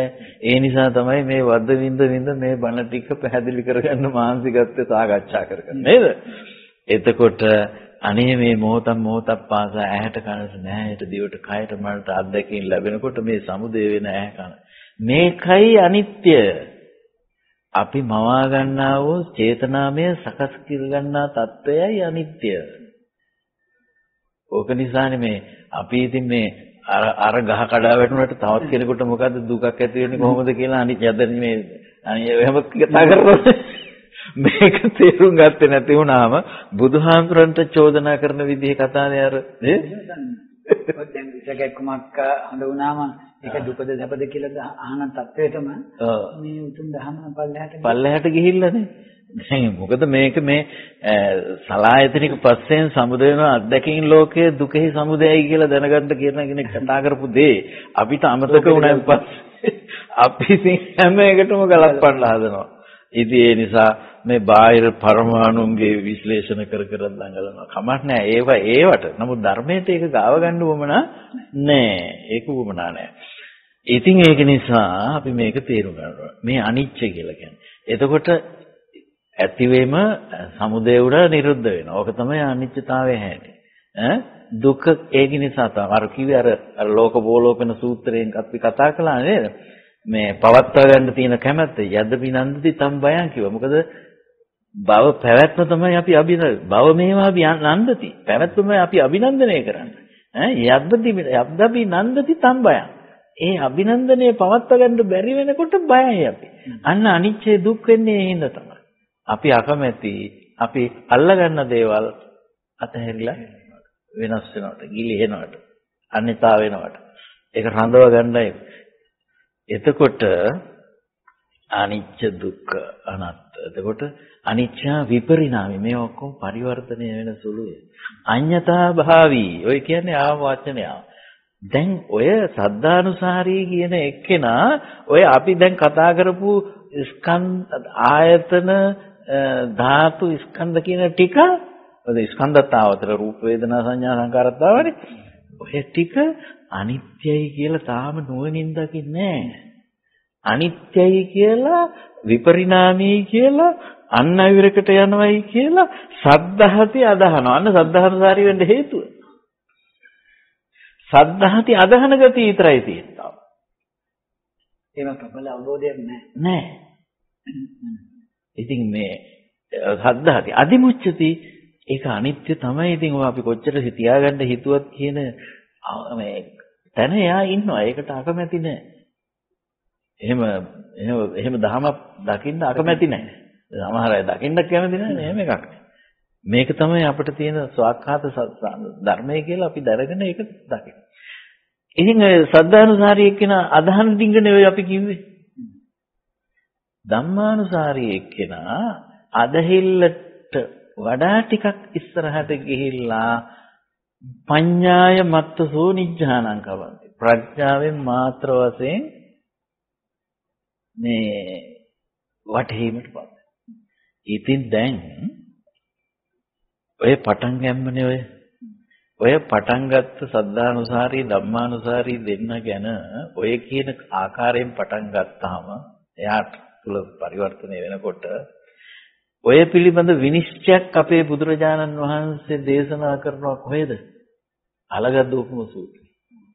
ඒකේ තියෙනවා යේතේ භික්ඛු ධම්මානුසාරිනෝ සද්ධානුසාරිනෝ සබ්බේතේ සම්බෝධිපරායන යම් කිසි කෙනෙක් සද්ධානුසාරී නම් ධම්මානුසාරී නම් ඒ හැම කෙනෙක්ම සම්බෝධිපරායන නිවන පිහිට කොට ඇත්තාහුය මේ විශාල වටිනකමක් දීලා තියෙනවානේ දැන් තේරුම් ගන්න උවමනා කරන ටික මේ තියෙන්නේ ඉතින් ඔය කතා කරන්න තව කරුණු තියෙනවා. නමුත් අපි මේ එකින් එක පියවරෙන් පියවර ටික ටිකනේ කතා කරන්න ඕන. දැන් එතකොට ඔය ඔය ඔය ඔය ආයතන ඔස්සේ ඔය විස්තරය විචිත්‍රව සූත්‍ර ගණනාවකින් කියලා දෙන එක තමයි ඔක්කාන්ති සංයුත්තේ කරලා තියෙන්නේ. ඔක්කාන්ති කියන වචනේම දාලා තියෙන්නේ සසුම් පිළිවෙතට බැස ගැනීම. ඔක්කාන්ති කියන්නේ බැස ගැනීම. බැස ගැනීම, බැස ගැනීම කියන තේරුම. එතකොට සාසන පිළිවෙතට අපි බහින්නේ කොහොමද? මේ බහින්න අපි දැනගන්න ඕන කරන්නේ මොකක්ද? ස්කන්ධ ආයතන ධාතු. ඕක අපි බණ අහලා හොඳට දැනගන්න ඒ නිසා ස්කන්ධ ආයතන ධාතු ගැන කතා කළ යුත්තේ අපි විඥාන නාම රූප අධ්‍යක්ීම් වශයෙන් මේක ගොඩනගාගන්නේ කොහොමද කියලා මිසක් බාහිරයට තියලා නම් කතා කරලා වැඩක් නැහැ. මේ කන මගේ කනෙන් මගේ මේ කම්පෙත්තෙන් කවුරු හරි ඇද්දොත් මම කියන්නේ කණෙන් ඇද්ද කියලානේ මගේ. නමුත් කන උපදින්නේ කොයි වෙලාවේද? සද්දයක් ඇහෙනකොට අහන් ඒ විදිහට තේරුම් ගන්නවා. මම මේක මේ ළඟදිත් එක්කෙනායි කතා කරනකොට දැන් අපි මේ මේ දිව කියන එක මේ දත්වල අතරද තියෙනවයි කියලා කියනවනේ. ඈ ඕන තරම් තියෙනවා. දැන් මේ කතා කරනකොට එහෙම කොච්චර දිව එහාට මෙහාට දඟලනවනේ. නමුත් දිව උපදින්නේ නැහනේ. දිව උපදින්නේ කයක් උපදින්නේ. දිව උපදින්න නම් රහත් දයෙන්න. අන්න ඒ විදිහට දකින්න එපා. දැන් මේක අමුතු ප්‍රහේලිකාවක් නෙමෙයිනේ. හැබැයි එකක් තියෙනවා. අපිට හුරුුනේ අර විදිහ පරණ. ඒ නිසා නూరు වැඩේ මේක සරලයි. සරල තැන. මෙහෙම දැක්කොත් විතරයි නේද ඇත්ත වශයෙන් ධර්මයේ සංකීර්ණ පටලවිලි ඉවර වෙන්නේ. ආන් ඒක අපි තේරුම් අරගන්න ඕනේ. ඉතින් ওই විදිහට තේරුම් අරගත්තාම සද්ධානුසාරී ධම්මානුසාරී කියන අවස්ථා දෙකේ මේ බොහොම ලොකු වටිනාකමක් තියෙනවා. එතකොට අපි දැනගන්න ඕන ඔය ටික තේරුම් අරගත්තන් පස්සේ අපි කොහොමද අනිච්ච දුක්ඛ අනාත්ම එදිනදා ජීවිතේ වඩන්නේ කියලා අපි තේරුම් ගන්න බෑ. දැන් අපිට සාමාන්‍ය උදේ ඇහැරිච්ච වෙලාවේ නම් යාලි නිින්දට යනකම් වෙන්නේ මොනවද? පේනවා, ඇහෙනවා, ආග්‍රහණ දැනෙනවා, රස දැනෙනවා, ස්පර්ශ දැනෙනවා, කල්පනා වෙනවා. වෙන මොකද්ද වෙන්නේ නේ? වෙන මොන මොනවා විස්තර අපි කිව්වත් අපට අවසාන වශයෙන් සිදු වෙලා තියෙන්නේ පෙනෙනවා ඇහෙනවා ආග්‍රහණ දැනෙනවා රස දැනෙනවා ස්පර්ශ දැනෙනවා කල්පනා වෙනවා කියන ටික විතරමයි වෙලා තියෙන්නේ. එහෙමනම් ඔතන නේද අපිට අපිව තේරුම් ගන්න තියෙන තැන. ඒ බව නේද මේ බුදුරජාන් වහන්සේ පෙන්වන්නේ. දැන් අපි සාමාන්‍යයෙන් පුරුදු වෙලා ඉන්නවා මේ ඇහැට පේනවා නම් පිටස්තර රූපයක් ඕක ඒ පේන රූපේ අනිත්‍යයි කියන්නේ දැන් හුඟ දෙනෙක් පුරු වෙලා තියෙන්නේ. දැන් බුදුහාඳුරෝ වදාළේ මොකද්ද? රූපය කොහොමද අර නාම විඳින් සංඥා චේතනා ස්පර්ශ මනසිකාර ඔස්සේ මවාගත්ත සංකල්ප රූපය නේද අපිට තියෙන්නේ. ඒක නේද අනිත්‍යතාවයෙන් දකින්න ඕන. අපිට මැවෙන රූපයනේ අත්දකින්න ඕන. මේ බාහිර තියෙන වස්තුවක අනිත්‍ය බාහිර වස්තුවක අනිත්‍යතාව දැකලා වැඩක් නැහැ හැබැයි ඒවත් අනිත්‍ය තමයි. ඒක කිසි කතාවක් නැහැ. නමුත් ඒකේ අනිත්‍යතාව ගැන කියන්න බුදුවරයෙක් පහළ වෙන්න ඕනද? හොඳටම පැහැදිලි වෙන්නේ එතනින් බුදුරන් වහන්සේ නමක් පහළ වෙලා ලෝකය පිළිබඳ අනිත්‍යතාව දේශනා කරනවා නම් දේශන. මොකද බුදුරජාණන් වහන්සේ පහළ වෙන්න කලින් ಭಾರತයේ හිටපු අය ඇතම හිටිය අනිත්‍ය ගැන කතා කරන අය හිටියා. ඈ වෙනත් ඔය දැන් ලෝකේ මේ චින්තකයන් දාර්ශනිකයන් අතර අනිත්‍ය ගැන කතා කරන අය හිටියා. නමුත් මේ සමුදේ ධර්මයන්ගේ Nirodhe මට්ටමින් කතා කළේ සම්මා සම්බුදුරයන් වහන්සේලා පමණමයි. ඔන්න උතර තමයි අපිට විශේෂ තේරුම් ගන්න ඕන ඒ බව දැනගෙන ගත්ත දැනගත්තාම අපිට අපේ ධර්ම මාර්ගයේ වඩන් ලේසි. ඒ නිසා අපේ සංකල්පනා ලෝකයේ මොකද මේක තව විදිහින් ගත්තොත් චේතනාමය වශයෙන් අපට අபிසංස්කරණය වූ දෙයක් ඇරෙන්න වෙන මොනවද මන් දන්නේ මේ චේතනාමය අபிසංස්කරණය කර ගැනීම අපි ස්කන්ධ වශයෙන් ආයතන වශයෙන් ධාතු වශයෙන් කරනවා. ඕක තමයි අපි දැනගන්න ඕන. දැන් අපි නිදසුනකට කියමු යම්කිසි කෙනෙක් ප්‍රථම ධානය ලැබුවයි කියලා. මේ ප්‍රථම ධානයටත් මොකද්ද තියෙන්නේ? බුදුහාමුදුරන් වහන්සේ වදාළ දැන් මහා මාළුන්ගේ පුත්තු සූත්‍රයේ දේශනා කරනවා බුදුරජාණන් වහන්සේ මේ ප්‍රථම ධානයට සම්වදිච්ච එක්කෙනා. ඒ ප්‍රථම ධානයේහි පවතිනවා නම් යම් රූපගතයක් වේදනාගතයක් සංඥාගතයක් සංඥා සංකාරගතයක් විඥානගතයක්. ඒ කියන්නේ ස්කන්ධ නෙවෙයි. මේ ස්කන්ධ ස්වභාවයක් තියෙනවා නම් අන්න ඒ ස්කන්ධ ස්වභාවයද අනිත්‍ය වශයෙන් බලන්න, දුකක් වශයෙන් බලන්න, රෝගයක් වශයෙන් බලන්න, අනිත්‍යතෝ දුක්ඛතෝ රෝගතෝ gaduwak වශයෙන් බලන්න, ගණ්ඩතෝ සල්ලතෝ උලක් වශයෙන් දකින්න, අගතෝ විපතක් වශයෙන් කියන්නේ මේ පීඩාවක් වශයෙන් දකින්න ආබාධතයක් වශයෙන් දකින්න ආබාධතෝ පරතෝක මගේ නෙමෙයි කියලා දකින්න ඈ? පලෝකතෝ සිඳි බිඳි යන දෙයක් ඇටියෙන් දකින්න ශුන්‍ය වශයෙන් දකින්න අනත්ත් වශයෙන් දකින්න කියලා කිව්ව අර සමාධියේ චිත්තේට අයිති රූප වේදනා සංඥා සංකාර අන්න ඒ වගේ කාමාවචර අත්දැකීම් ලබන තලයක ඉන්න අපි අපේ පරිඳුරන්ගෙන් ලැබෙන අත්දැකීම් ඔස්සේ අපි මවා ගන්නා වූ කාමාවචර රූප නිමිති, සද්ද නිමිති, ගන්ධ රස පොට්ටබ්බ නිමිති. එතකොට මේ පිටස්තර ඒව නෙමේ අපිට මැවෙන ස්වභාවය. මැවෙන රූප ස්වභාවය, විඳින් ස්වභාවය, හැඳිනීම් ස්වභාවය, ඊළඟට චේතනා ස්වභාවය, දැනීම් ස්වභාවය තමයි අනිත්‍ය වශයෙන් බලන්නේ. ඒක කොහෙවත් පිටස්තර ඒව බැලිල්ලක් නෙවෙයි. මේ මේ විදිහට අනිත්‍යතාව දකිනවා නම් නුවණින් ප්‍රත්‍යවේක්ෂණය කරනවා නම් හැරිලා බලනවා නම් ඔය යෝනිසෝ මනසිකාර කියන එකේ හැටි කියන්නේ ප්‍රත්‍යවේක්ෂණයේ හැකියාව තියෙන අපිටනේ. ආපහු හැරිලා බලනවා කියන එකට දැන් මතු පිට ස්වરૂපයට රැවටෙනවද නුවණින් බලනවද නේ? ඒ විදිහට බලනකොට අපේම චේතනාමය අபிසංස්කරණයන්ගේ අනිත්‍යතාව දකිනවා නම් දුක දුක් මැවෙන්නෙම නෑනේ. ඕම දකින්න දකින්න බෑ දුකත් තේරෙන්න. අනත්ත වෙන්නේ එතකොට මට ඕන හැටියට කන්ට්‍රෝල් වෙන්නේ නෑනේ. ඒ නිසානේ ඒවම් මේ රූපං හෝතු ඒවම් මේ රූපං මා හෝසීති මෙසේ රූප මේ රූපේ වේවා මෙසේ නොවේවා කියලා මං කොච්චර කැමති වුණත් ඒක ඒ විදිහට වෙන්නේ. ඒ වගේ ධර්මතාවක් තියෙනවනේ ඊට අනුකූලව ඒවා පවත් සකස් වෙන්නේ. ආ එහෙමනම් අනත්තයි කියලා දකින්නේ ඒකයි. ඉතින් මේවත් සෑහෙන්න පටලැවිලා තියෙන දේවල්. ඉතින් ඒක නිසා දැන් මම මේ කිව්වේ අනිච්ච දුක්ඛ අනාත්ත වඩනවා නම් මේ වැඩි දුර යන්න එපා. අපේම චේතනාමය සකස් කිරීම පිළිබඳව හිතන්න. කණෙහි සමුදය ගැන හිතනවා නම් මොකද නි- අර ලයිස්තුව හොඳට මතක තියාගෙන සමුදය නිරෝධ අස්සාද ආදීනව නිසා. සමුදය නිරෝධ නොදැක අස්සාද ආදීනව විතරක් බැලිල්ලකුත් තියෙන බව පේනවා. හැබැයි ඒකත් එන අවුලක් ඈ. සම්මානතේ ඒක මම කියන්නේ ඉතින් දැන් සමුදය නිරෝධය නොදක ආශාද ආදීනව නිස්සරණ කරන්න තමයි කියන්නේ. ඒකනේ. සමුදය දැක්කේ නැහැ. සමුදය නොදක පටිච්ච සමුප්පාදය දැක්ක වෙන්නේ කොහොමද? මේ වහන්සේ මේ අපි පුරා මාස හතරක් තිස්සේ කතා කරපු දේ ඇතුළත තියෙන සමුදය. සමුදය මේ කතා කරේම සමුදය අල්ලගෙන. සමුදයනේ අත්තගමයට යන්නේ. සමුදයන්ච අත්තගමංච කියන එක දැනගන්න එපා. ඒ කියන්නේ දැන් අපි මොහොතක් මොහොතක් පාසා අපේ සමුදය අපේ අත්දැකීම් සමුදය අපිට නිරීක්ෂණය. මොකද මේවා මේ පුහුණු වෙනකොට දවසේ පැය 24ේම එනේන නිමිති ගැන මෙනෙහි කර කර ඉන්න පුද්ගලයන්ට බෑ. නමුත් අපි යොදාගත්ත පුංචි පුංචි විවේක සමයන් වල අපි මේ මානසිකාරයේ යොදනකොට මොකද වෙන්නේ අපිට මේක පුරුදු වෙන්න පටන් ගන්නවා. මොකද දැන් මේ එක හිතක්වත් අපි හිතලා හැදුවේ නෑනේ. ඔය විඥාන නාම රූප වශයෙන් අපි ගොඩනගන සිත් ඒවා ස්කන්ධ දක්වා යනකොට ඒ අ- අපි හිතලා හදනව නෙමෙයි. හැදෙන හිත් වලට අපි යට වෙන එක නෙමෙයි වෙන්නේ.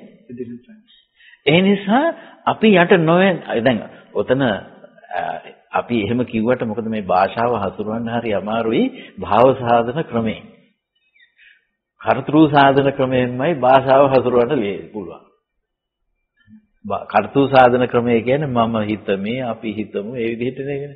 භාව සාධන ක්‍රමයට භාෂ හසුරවන්න හරි අමාරුයි. ඒ නිසා තමයි බුදුහාඳුරු මේ ඕකත් දැනගන්න කියලා වදාළ. මොකද අර වෝහාර මර්ථේන සෝභෝහරිය කියලා අර අදිවචනපත නිරුද්ධිපත පඤ්ඤාතිපත හදන්නේ කොහෙන් කියලාද කිව්වේ නාම රූප ඔස්සේනේ. ඒ බස්වහරනේ අපි පාවිච්චි කරගෙන නාම රූප නිරෝධය සඳහා බණ කියන්න වෙලා තියෙන්නේ. ඒ නිසා බස්වහර පිළිබඳ ගැටලු ඇති වෙනවා. එතකොට ඒ නුවණ දැනගෙන තමයි මේ බුද්ධ ශ්‍රාවකයා බස පාවිච්චි කරන්නේ. ඒ නිසා බුදුහාමුදුරන් වහන්සේ වදාළ ඔය තථාගතවරු ඈ ීමා කෝචිත ලෝක සමඤ්ඤා ලෝක නිරුත්තේ ලෝක ආහාර යාහි තථාගතෝ වහරති අපරාමස්තිය මේ චිත්ත කියන එක්කෙනා අමතල බුදුහාමුදුරන් වහන්සේ වදාලා ඔය පොට්ටපාද සූත්‍රයේදී මේ මේ මේ තථාගතයන් වහන්සේත් මේ මේ කියන ලෝකපඤ්ඤත්තිය ව්‍යවහාර කරන ව්‍යවහාරයේ පිණිස පමණයි නමුත් අපරාමසන් ඒ පරාමර්ශණය කරන්නේ නැහැ ඉතින් ඒ නිසා අර මම මේ කතා කරගෙන යනකොට මට බස ඒ විදිහේ එකක් වුණා. නිකන් කියන දේවට වඩා භාව සාධන ක්‍රමයෙන් කතා කරන්න බැරි එතකොට නමුත් කරන්න දෙයක් නැහැ අපිට මේ බසෙන් කියන්න පුළුවන් දුරක් තියෙනවා. ඒ තමයි අපිට බුදුහාමුදුරන් වහන්සේ සද්ධර්ම ශ්‍රවණය පිණිස යොදලා තියෙන අවස්ථාව. එතකොට එතන ඉඳන් තමයි යෝනිසෝ මනසිකාර්යය යොදනකොට බසත් එක්ක නෙමෙයි යන්නේ. නුවණත් එක්ක ප්‍රඥාවත් එක්ක යන්නේ. ඒක ව්‍යවහාරික භාෂාවකට ගත්තට. නුවණත් එක්ක තමයි ප්‍රඥාවත් එක්ක යන්නේ. එතකොට තමයි යෝනිසෝ මනසිකාරයකට ධම්මානුධම්ම ප්‍රතිපත්තිය වැටෙන්නේ. ඉතින් ඒ නිසා අපි තව විදිහකින් ගත්තොත් එහෙම මේ විදිහට ධර්මයේ දැනගන්නකොට තමයි මේ සම්මාදිට්ඨියමනේ අපි මේ මෙච්චරලා කතා කරන්නේ. මොකද අපිට ප්‍රතිපදා මාර්ගයටනේ කතා කරන්නේ. සද්ධානුසාරී ස්වરૂපයේ තව පොඩි කාරණාවක් දෙකක් තියෙනවා. ඒ ටික කියන්න ඕන. මම හිතනවා ඒක කියලා ඉන්න. හොඳයි. මොකද කාලයක් නැති වෙනවා. ඔව් මොකද කාලය කොහොමද කියන්නේ මට තේරෙන්නේ නැහැ දැනුම් දෙන්න. මේ ඔතන තියෙනවා දැන් මේ ඔය ඔය කියපු විදිහට අර ස්කන්ධ ආයතන ධාතු කියන තුන් ආකාරයක සරල මට්ටම පිළිබඳව අනිත්‍යතාව විපරිණාමී බව අඤ්‍යතාභාවී බව අදහන ගතිය සද්ධානුසාරී කියවනේ. ඊළඟට මේ ඊට වඩා ටිකක් මුහුරාගිය කියන ධම්මානුසාරී කියවනේ. මේ දෙන්න අලගද්දූපම සූත්‍රයෙන් මම කිව්ව නේද මේ මේ දෙන්න සම්බෝධිපරායනයි කියන්නේ. හැබැයි නියත කියන වචනේ බුදුහාරු පාවිච්චි කළේ නැහැ. නියතෝ කියන වචනේ පාවිච්චි කරන්නේ සෝතාපන්නේ සම්බන්ධයෙන් පමණයි.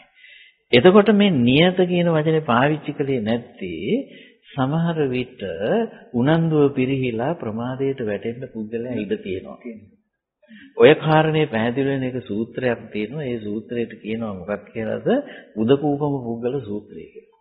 මතකයිනේ? උදකුප්ම සූල සුද්ධල සූත්‍රයේදී මේ ಗುಣ පිළිවෙල සකස් වෙනකොට ඕක ධර්මය අහනකොට සමහර කෙනෙක් මේ ඕක වතුර වතුරේ ජලාශයේහි ගිලිලා ඉන්න අයගේ මතුවීම නිදසුන් කරලා තමයි කියන්නේ නේ. ගිලිලා ගිලිලම ඉන්න අය ඉන්නවා. මොන විදිහකින්වත් මතු කරවන්න බෑ. තව කොටසක් ඉන්නවා මතු වෙලා ආයෙ කියලා. උම්මුජිත්වා නිමුජ්ජති කියලා කියනවා. තව කොටසක් ඉන්නවා උම්මුජිත්වා ටීතෝ. ඇවිල්ලා නතර වෙලා ඉන්න. නහායති. පිරිහෙන්නෙත් නැහැ. න වඩති වැඩෙන්නෙත් නැහැ. එතනවත් ඉන්නවනම් මොකද හේතුව? පැටි කියන්නේ මේකේ නොපිරිහි හිටියොත් අබබ්බෝ හෝති කාලං ખાතුම් යාවන සෝතාපට්ටි ඵලං සච්චි කරොත් මේ සද්ධානුසාරි ධම්මානුසාරි දෙන්න සෝතාපට්ටි ඵලයටපත් වෙන තෙක් මිය යන්න සුදුසු නැහැ ඒ නිසා රැඳිලා හරි ඉන්න තියෙන තැන ඈ මොකද දැන් මේ ලෝකයට මේක හම් වෙන තැන කියන්න බෑ ඈ එතකොට හරි වටින තැනක් ඔය සද්ධානුසාරී ධම්මානුසාරී දෙන්න ගැන ඔක්කාන්ති සංයුත්තේ සඳහන් වෙන්නේ කොහොමද? පුතුජන භූමින් වීතික්කමති. වීතිවත්ෝ පුතුජන භූමි. පුහුදුන් භූමිය ඉක්මවා ඇතියයි. ඔක්කන්තෝ සම්මත්ත නියාමං. සම්්‍යක්ත නියාමය කියලා කියන්නේ මේ ආර්ය ධර්ම මාර්ගයට. බැස්ස. ඉතින් මේ වටිනාකම අපි දැනගන්න බෑ. ඒක එන්නෙම අර මේ කියන අර්ථයෙන් ස්කන්ධ ආයතන ධාතු කියන ස්වභාවය බාහිර වාස්තවික ලෝකයට අල්ලලා නැතුව අපේම නාම රූප නැවිල්ලක් හැටියට එන බව හොඳට තේරුම් ගැනීමෙන් තමයි මේ කාර්යය හොරට නැත්තම් ඉතින් මේ ඒක පිළිහිටා ගන්න ඒ ප්‍රතිෂ්ඨාව ලබා ගන්න බැරුව යනවානේ. ඉතින් මේක කොච්චර අවශ්‍ය දෙයක්ද? අන්න ඒ වටිනකම මට කියන්න උවමනා කරලා තියෙනවා. ඒකයි. ඊළඟට ඔය කියන අය අතිනුත් වැරදි සිද්ධ වෙනවා. මෙන්න මේව වචනයක් තියෙන ඔක්කන්සල්. අබබ්බෝහෝති කම්මං කාතුම් යං කම්මං කත්වා නිරයං වා තිරඥාන යෝනිං වා පෙත්තිවිසයන් වා උප්පජ්ජේ. යම් කර්මයක් කරලා නිරයට പ്രേත විශේෂයට දිරත්තම් භවයට යන්නේද එබඳු වූ කර්මයක් කරන්නට අභව්‍යය. අභබ්බෝ. ඉතින් බලන්නකෝ සුදුසු නැහැ කියන එකනේ ඉතින් මේ තරම් අපට දුගතිබය විමුක්ත වෙන්න ඉඩ තියෙද්දි ඈ? ලස්සනට ප්‍රතිපදාවේ තැන් අපිට හලකුණු කරලා මම දන්නවා ඔය සද්ධානුසාරී ධම්මානුසාරී කතාව වුණත් මේ මෑත කාලේ තමයි කතා කරන්න පටන් ගත්තේ. මුලින් තිබුණ කතාවක් නෑ. ඉතින් ඔන්න ඔය වගේ දේවල් තියෙනවා. ඉතින් මේ කරුණු කාරණාවල් අපි හොඳ හැටි තේරුම් අරගෙන මේ ධර්මයේ ප්‍රතිෂ්ඨාව ලබන්න ඕනේ. මේ ධර්මයේ ප්‍රතිෂ්ඨාව ලබන අයට අයිති ගිහි ජීවිතය ගැන තමයි ඔය ගිහි ජීවිතය පිළිබඳ සූත්‍රවලක් තියෙන්නේ. අරියස් විනය කියලා කියන්නේ දැන් මේ ආර්ය විනය තමයි මේ. ඈ දැන් සිගාලෝවා සූත්‍රය ගත්තාම කතංච ගහපති පුත්ත අරිය ශ්‍රාවකෝ චද්දිසාපටි ආර්ය ශ්‍රාවකෙක් මේ සදිසා සම්බන්ධතාව ඒ කියන්නේ මනුෂ්‍ය ව්‍යවහාරික සම්බන්ධතාව පවත්න්නේ කොහොමද? ඕක තමයි සිගාලෝවා සූත්‍රයේ තේමාව. අරිය ශ්‍රාවකයා ඕක අමතක කරලා අපි නිකන් අර සංජානන මට්ටමින් විතරක් මේ දරු පවුල් වල වැඩ පිළිවෙල ගැන කිව්වට හරියන්නේ නැහැ. ඒ නිසා ඒ ඒ දර්ශනය පුද්ගලයාට වදින්නේ නැහැ. ඒ නිසා මේකට හැඟීමක් ඇති වෙනවා මේ භවය ඉක්මවන්න ඕනේ කියලා අපිට සිතවිල්ල පහළ වෙන්න ඕන. මොකද ජරා මරණ දුකට නැවත නැවතත් මුණ පාමින් ඉන්න සංසාර පැවැත්මක් නේද මේ කියන එක අපි දැනගන්න ඕන. මේ සසර පැවැත්ම තුල ජරා මරණ දුකට විතරක්පත් වෙනව නෙමෙයිනේ. ලෝභය, ද්වේෂය, මෝහය නිසා, ඊර්ෂ්‍යා, මදමාන, මාත්සර්ය ආදී නිසා අපි දුගතියට අනන්තව ඇදගෙන යනවා. අපි සමහර විට දැන් මිනිස් සුගතියක අපි හිටියත් දුගතියක වගේ දුක් වලට දැන් මුහුණ දෙන්නත් වෙන්නේ ඒ හින්දානේ. මේ සසර ස්වභාවය ඕකයි. මේ යතහා ස්වභාවය දැනගෙන දැන් උතන මමත්වයේ කියන්නේ මේ නිවන් මේ අපේ මවා ගන්න කෙනානේ. ඈ තණ්හාව අවිද්‍යාව කියන දෙක විතරයි මේ නිවන් දකිනකොට නැති වෙන්නේ මම ඉන්න බෑ නැති වෙන්න මම මවා ගන්න දෙයක් විතරයි. තණ්හාවයි අවිද්‍යාවයි නැත්තම් මම මවා ගන්නෙ නැහැ. මම නැවෙන විදිය ඔවුන්ට අවබෝධ වෙනවා. අවබෝධ වෙලා තියෙන්නේ. මම වෙන විදිහ අවබෝධ වෙලා තියෙනවා. මමත්වයේ අඩු වෙනවා. ඉතින් ඇත්ත වශයෙන්ම දැන් අපි කියමු දැන් යම්කිසි කෙනෙක් මේ විදර්ශනා ක්‍රමයෙන් මේ ආයතන ස්කන්ධ ආයතන ධාතු වලට සම්බන්ධ වූ මේ ක්‍රියාකාරීත්වය මේ අපේ ආයතනික නාම රූප ඇද්දකින් ක්‍රියාවලිය ඔස්සේ සකස් වෙන හැටි නුවණින් දැක දැක ඒවායේ අනිත්‍යතාව දුක් බව අනාත්ම බව නුවණින් දකිනකොට එයාට මමත්වයේ අඩු වෙනවානේ. එයාට එයාට අපි කියමු එයාට අපි කවුරු හරි දොස් කිව්වොත් එහෙම රිදෙන ගතිය අනිත් අයට වඩා අඩුනේ. ඈ ටික ටික අඩු වෙගෙන යනවානේ. ඔන්න ඕකනේ ඕන කරන්නේ. මොකද මේ ධර්ම මාර්ගය කියලා කියන එක ඊටාම සරලව වැඩෙන දෙයක්. අර අර කලින් කිව්වා වගේ අර මේ මේ මේ වාසිජටෝපම සූත්‍රයෙන් අර කිකිලි බිජුවට උපමාවක් අන්න ඒ වගේ මේක වෙන්නේ. ඔය කාරණේ කියනකොට මට ඒ සූත්‍රෙම තව උපමාවක් කියන්න. ඒකේ තියෙනවා හොඳ වචන. වාසිජටෝපමාව. වාසි කියන්නේ වෑය. ඔය වැඩ කරන වෑයවල තියෙන. වෑයට මිටක් ගහනවානේ වැඩ කරන්න. මේ වෑයට මිටක් ගහලා යම්කිසි කෙනෙක් වැඩ කරනවා. බුදුහාඳුරෝ මේ මේ ධර්ම කාරණා කියලා දෙන්න ගිහිල්ලා මේ මහා වෙනත් ලෝකයක උපමා රූපක නෙමෙයි ගත්තේ අපේ ව්‍යවහාරික ගැමි ජීවන රටාව තුළ තියෙන උපමා. ඉතින් මේ වෑයෙන් වැඩ කරනකොට දැන් වෑයක් මිටක් ගහලා ඒක ඉතින් හොඳට සෞම්‍ය කරලා එහෙම ඉතින් වැඩට සුදුසු විදිහට ගන්නවනේ. දැන් මේකෙන් අද දවසේ වැඩ කරනවා. මේ වැඩ කරනකොට අර අතට අහුවෙලා අහුවෙලා මේ මිට යම්කිසි ගෙවීමක් වෙනවනේ.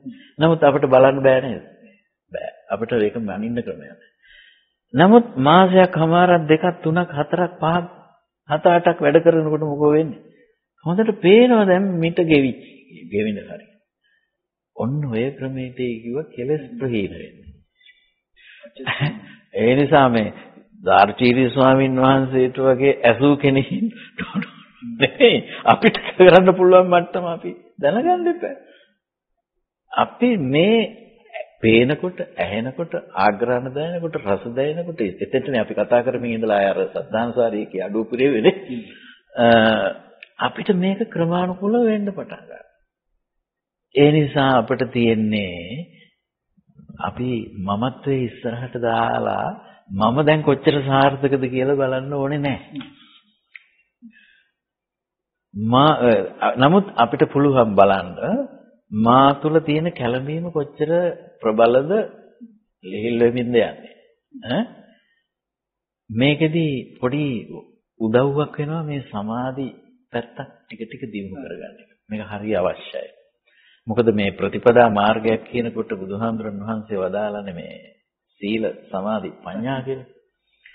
දැන් සීලයවත් කඩාකප් මේ මේ සීලයවත් නිකන් කොහොම රඳව ගන්නද කියන ප්‍රශ්නේ තිබුණේ අපිට. දැන් මේ කරුණු කාරණා දකිනකොට ඈ සීලයට කොච්චර හොඳට පදනමක් පේනවද? නෙක්ඛම්ම අව්‍යාපාද අවිහිංසානේ. කාම ව්‍යාපාද විහිංසා සංකල්පනාවන්ගෙන් අත්මිදී යුතුයි අදිමිදෙන්න යුතු දෙයක් කියන අවබෝධය අපිට සකස් වෙනවා කියන්නේ සීලය තහවුරු වෙන්න පටන් ගන්නවා. මොකද එතනනේ වාචා කම්මන්තාජී වෙන්නේ. මොකද ආර්ය අෂ්ටාංගික මාර්ගය දැන් අපි මෙච්චරලා කතා කළේ මොකද? සම්මා දිට්ඨියේ ස්වභාවය. ඈ දුක්ඛමේව හි උප්පජ්ජමන මේ උපදින්නේම දුකමයි නිරුද්ධවන්නේ දුකයි කියලා හිතන් සැකයක් විමතියක් නැති වෙන්න නොවන විදිහට අපි කච්චායන වච්චගොත්තු සූත්‍රෙත් අරගත්තා ඒ ඔක්කොගෙම අපි සාකච්ඡා කරලා අපි තේරුම් ගත්තා එහෙනම් සම්මා දිට්ඨිය හරියනවා සම්මා දිට්ඨිස්ස සම්මා සංකප්පෝ පහෝ සම්මා දිට්ඨිය හරියන එකනට නිවැරදි කල්පනේ නොමයි සම්මා සංකප්පස සම්මා වාචා පහෝ වචනේ එනවමයි. සම්මා වාචස්ස කම්මා සං කම්මං සම්පහෝ වචනේ හරියනකොට ක්‍රියාව හරියනවමයි. ක්‍රියාව හරියනකොට මේ ආජීවය හරියනවා. ආජීවය කියන එකෙන් අදහස් කරන්නේ ඔතන අර මේ ලාභ ප්‍රයෝජනයක් සලකගෙන වැරදි විදිහට කටයුතු නොකරනවා කියන එක. අර කුහනා ලපනා නියමිතකානේ පිස්සකතා කියලාදී තියෙන. එතකොට ඔය සීලය සකස් වෙන එක්කෙනාට දැන් ක්‍රමානුකූලව සීලයට හේතුඵල සම්බන්ධතාවයේ ඔය ඔය තුනේ ඔය තුනේ ඔය ඔය පහේ පහක්නේ කතා කළානේ. ditthi සංකප්ප වාචා කම්මන්ත ආදී හේතුඵල වශයෙන් සම්බන්ධයක් පේනවා. ඒව පෙනෙන පෙනෙන විදිහට මේක අපිට අපි තේරුම් අරගන්නකොට අපිට උත්සාහය වායාමය සතිය සිහිය යොදන්න ලේසියි. දැන් ඔය සිහිය සතිය යෙදෙන පමණට අපේ සිතට සිතට සිත සමාධියට යොදයි. සමාධියට සුදුසුයි. ඉතින් අපි මොකද කරන්න ඕන? බුද්ධානුස්සතිය වගේ මෙත් මෛත්‍රී චේතෝ විමුක්තිය වගේ ඈ අසුභානුස්සතිය වගේ භාවනා වැඩුවට කමක් නැහැ. ඒවා තුලින් අපේ සිතේ සමාධිය ආනාපාන සතිය. ඉතින් ඒව ටික ටික මේ අපි මේ කතා කරන්නේ දැන් මේ මේ මේ මේ මේ වැඩසටහනට සමන් දෙන අයට තම තමන් ඇසුරු කරන ඈ කල්යාණ මිත්‍ර සම්බන්ධතාව ඔස්සේ ඒ ගුණාංග වඩා වර්ධනය කරගන්න පුළුවන්. ඒ විදිහට ඒ ගුණාංග සකස් කරගන්න කවද සීලය සමාධිය ඔය ඔය ඔක්කොම හැබැයි සීලය සමාධිය දෙකම ලෝකීයනේ. හැබැයි ලෝකුත්තර සමාධියකුත් තියෙනවා. ඒක එන්නේ විදර්ශනාවකුත් එක්කයි. ඉතින් විදර්ශනා විශේෂපතේ තමයි අපි මේ තේරුම් කළේ. ඈ අපි තේරුම් ගන්න මහන්සි ගත්තේ විදර්ශනා භාවනාවකට වවනා කරන පසුබිම කොයි විදිහෙන්ද අපි අවබෝධය සකස් කරගන්න ඕනේ දැන් එතකොට අපි පේන ඇහෙන ආග්‍රහණ දැනෙන රස දැනෙන ස්පර්ශ දැනෙන කල්පනා වෙන අවස්ථාවලදී අපිට පුළුවන් නම් මේ සිත මම හැදුවේ එකක් නෙමෙයි මේක හුදු සිත් මාත්‍රයක් විතරයි කියලා අපි සාමාන්‍යයෙන් හිතා ගන්නවා. දැන් අපි කියමු බස් එකේ යනවා කියලා. බස් එකේ යනකොට අපිට නොයෙක් දේ පේනවා නොයෙක් දේ ඇහෙනවා. ඉතින් ඕය ඇති නොයෙක් නොයෙක් කෙලෙස් හදාගන්න. ඉතින් එහෙම හදා ගන්නව වෙනුවට අපි පේනනවා. එහෙම නැත්නම් හිතක්. අපි සරල දෙයකින් අපි පටන් ගන්නවා. මේ හෝඩියෙන් වගේ පේනනවා. එහෙම නැත්නම් සිතක්. සිතක් තමයි. මොකද දැන් අපි පුරුදු වෙලා තියෙන්නේ ඈත තියෙන දේ දැක්ක කියලානේ. මෙතන පහළුනේ සිතක් කියලා දකිනවා කියන එක මහ හරි වටින දෙයක් නේ. මොකද එතනනේ අපේ ඔක්කොම සමුදේ වෙන්නේ. මේ සිතේ මොනවද කියලා ඊට පස්සේ බලන්න. මෙතන තියෙන විඥානාව රූපනේ. විඥානාව රූප වල මොකද තව තවත් මෙනෙහි කරන්නේ. තව ඒ කියන්නේ ඔය මේ එක සැරේ කරනවා කියලා නෙමෙයි මම කියන්නේ. නැවත නැවත නැවත නැවත එකම දේ කලක් කරලා ඊට පස්සේ තමයි විඥානාව රූප වශයෙන් විඥාන නාම රූප වශයෙන් බල බල ඉන්න එක්කෙනා ඉතින් මේ දැන් ධර්මය හොඳට දන්නවා. ඒ පැත්තක එක් පැත්තකින් සමාධි සිත වැඩෙනවා. මෛත්‍රියේ සිත වැඩෙනවා. මෛත්‍රී චේතෝ විමුක්තියත් වැඩෙනවා. ඈ ඈ අසුභාවනා වඩන නිසා රාග කැළඹෙන එකත් පැත්තටත් සංසුන් වෙන්න. කාමයට මොකද නීවරණ යටපත් වෙන්න බෑ. නීවරණ මැඩපැත්තෙමින් දැන් යන්නේ. දැන් මෙයා මොකද කරන්නේ? මෙනෙහි කරනවා. මොනවද? මේ මේ විඤ්ඤාණ නාම රූප කියලා කිව්වේ මෙතන තමයි ස්කන්ධ. අන්න ස්කන්ධ වශයෙන් මෙනේ කරන කාලයක්. මෙතන තියෙන්නේ හේතුඵල ක්‍රියාවලියක් නේද? මේක මං හැදුවා නෙමෙයි නේද කියන අවබෝධය හොඳට හදාගන්න. එහෙම හදාගෙන හදාගෙන ගිහිල්ලා ඔන්න පේනකොටම අනිත්‍යයි කියලා මෙනෙහි කරන්නත් පුළුවන්. ඇහෙනකොටම අනිත්‍යයි. ආග්‍රහණ දැනෙනකොටම අනිත්‍යයි. රස දැනෙනකොටම අනිත්‍යයි. ස්පර්ශ දැනෙනකොටම අනිත්‍යයි. කල්පනා වෙනකොටම අනිත්‍යයි කියලා මෙනෙහි කිරීම. මොකද මේවා ටිකක් හුරු වෙනකොට සතිය වැඩෙනවා. වායාමයේ සතිය දෙක දෙක උදව්වට එනවා. ওই බුදුහාඳුරන් වහන්සේ මහා අපි මහා චත්‍ය චත්තාරීසක සූත්‍රයේ මතක් කරලානේ මේ සාකච්ඡාව පටන් ගත්තේ. එහි සඳහන් වෙනවා දිට්ඨියත් වායාමයත් සතියත් කියන මේ තුන ඉතිස්සි මේ තයෝ ධම්මා සම්මා දිට්ඨින් අනුපරිවත්තන්ති අනුපරිදාව සම්මා සංකප්පං අනුපරිවත්තන්ති මේ දිට්ඨි වායාම සත්තුන එකිනෙකට යැපෙමින් මේ සම්මා දිට්ඨියට උපනිශ්‍රය වෙනවා සම්මා සංකප්පයට උපනිශ්‍රය වෙනවා වාචනයට උපනිශ්‍රය වෙනවා. හරිම වටිනා සූත්‍රයක් මහා චත්තාරීසක සූත්‍රය. ප්‍රායෝගිකව වැඩෙන හැටි තේරුම් ගන්න. එතකොට ඔය කියන ආකාරයෙන් මේ කරුණ වැඩෙන පටන් ගන්නකොට සමාධි සිතත් වැඩෙනවා විදර්ශනා ප්‍රඥාවත් වැඩෙනවා කවදා නමුත් අර කිකිලියගේ දිජුවට බිඳගෙන පැටවුන් නියන් තුඩෙන් කටුව බිඳගෙන එළියට එන්නාසේ විදර්ශනා ප්‍රඥාව උදා වෙනවා ඇත. සේකස්ස සික්ක මානස්ස උජුමග්ගානස ඍජු වූ මේ මාර්ගය ඇතුළු කරන ශේක පුද්ගලයාට ඈ? කයස්මින් පටමඥාන. පළමු මේ කෙලස් කොටස් ක්ෂය වෙමින් තතෝ අඤ්ඤා අනන්තරා. අවබෝධය අනතුරු උදා වෙනවා. ඇත. රහත් භාවය ගැන යොතන කිව්වේ. සෝතාපට්ටි ඵලයටත් එහෙමයි. සකෘදාගාමි ඵලයටත් එහෙමයි. අනාගාමි ඵලයටත් එහෙමයි. ඔන්න ඔය කාරණා ගැන කියනකොට අපි සෝතාපට්ටි ඵලය ගැන කොහොමද කතා කරන්නේ? ditta ධම්ම දුටු ධම්ම ඇති පත්ත ධම්ම පැමිණි ධම්ම ඇති කෙනෙක්. විදිත ධම්ම දන්නා වූ ධම්ම ඇති කෙනෙක්. අරියෝගාල ධම්ම ධහමට බැස්ස කෙනෙක්. ඈ? හරිද? තින්න විචිකිච්චු සැක බැහැර කළ කෙනෙක්. විගත කතන් හද විමතින් ඉවර කරපු කෙනෙක්. වේසාරජ්ජප්පත්තෝ දැන් විදර්ශනාවේ සමත් කෙනෙක් විසරදේ. අපරප්පච්ච සතු සාසනය මේ ශාස්ත්‍රීය ශාසනයෙහි අපරප්පච්චේ ඥානයකින් අනුන්ගෙන් ණයට නොගත්ත තමන්ටම පැහැදිලි වූ ඥානයකින් යුක්ත කෙනෙක්. උතනයි දහම. සාදු සාදු සාදු. මම හිතනවා ස්වාමීන් වහන්සේ අද විශේෂ දවසක් මට මුලින්ම ඒක ප්‍රකාශ කරන්න අපහසු වුණා. අප මේ මොහන්දුර වෙනිවිද ධම් සාකච්ඡාවේ අවසාන සාකච්ඡාව තමයි අද මේ පැවැත්වුවේ. කරු ස්වාමීන් වහන්සේ සෑම මොහොතකදීම උන්වහන්සේ පිළිබඳ හැඳින්වීමක් කරනවාට වැඩිය කැමැත්තක් දැක්ුවේ නැහැ. නමුත් ප්‍රේක්ෂකයන්ගේ දැනගැනීම පිණිස මම කැමති ඔබ වහන්සේ අකමැති වුවත් ඔබ වහන්සේ කවුද කියා යම් හැඳින්වීමක් කරන්න. උන්වහන්සේ අප පාලි ලංකා පාලි විශ්වවිද්‍යාලයේ හිටපු මහාචාර්යවරේ කතිකාචාර්ය ස්වාමින් වහන්සේ නමක්. බාහිර. දැන් උන්වහන්සේ විශ්‍රාම සුවයෙන් ඉන්නේ.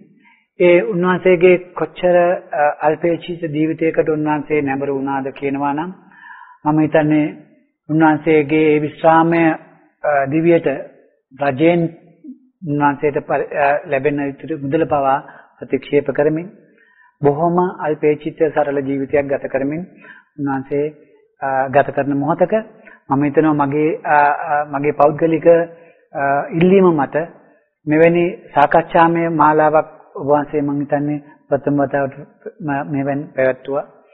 මොකද උන්වහන්සේගේ දේශනා මාලාව තුළ ප්‍රේක්ෂකයන්ට පැහැදිලි එක කරුණක් පැහැදිලි විය යුතුයි. උන්වහන්සේ මෙතෙක් මම හිතනවා මුල් බුදුදහමේ අප බුදුරජාණන් වහන්සේ දේශනා කරපු මුල් බුදුදහමේ සූත්‍ර පිටකයෙන් ඔබට උන්වහන්සේ කිසිම දේශනාවක් අපිට හොවා දැක්ුවේ නැහැ. ඒ නිසා උන්වහන්සේ මුල් මුල් බුදුදහමට මූලිකත්වය දෙමින් සෑම මොහොතකදීම මෙම දේශනා මේ සාකච්ඡා වැඩසටහන තුළම උන්වහන්සේ සූත්‍රයන්ම අල්ලලා අපිට සමග කතා කරා. ඒක ඒක විශේෂයක් හැටියට මේ ප්‍රේක්ෂකයන්ට පෙනෙන්න ඕන.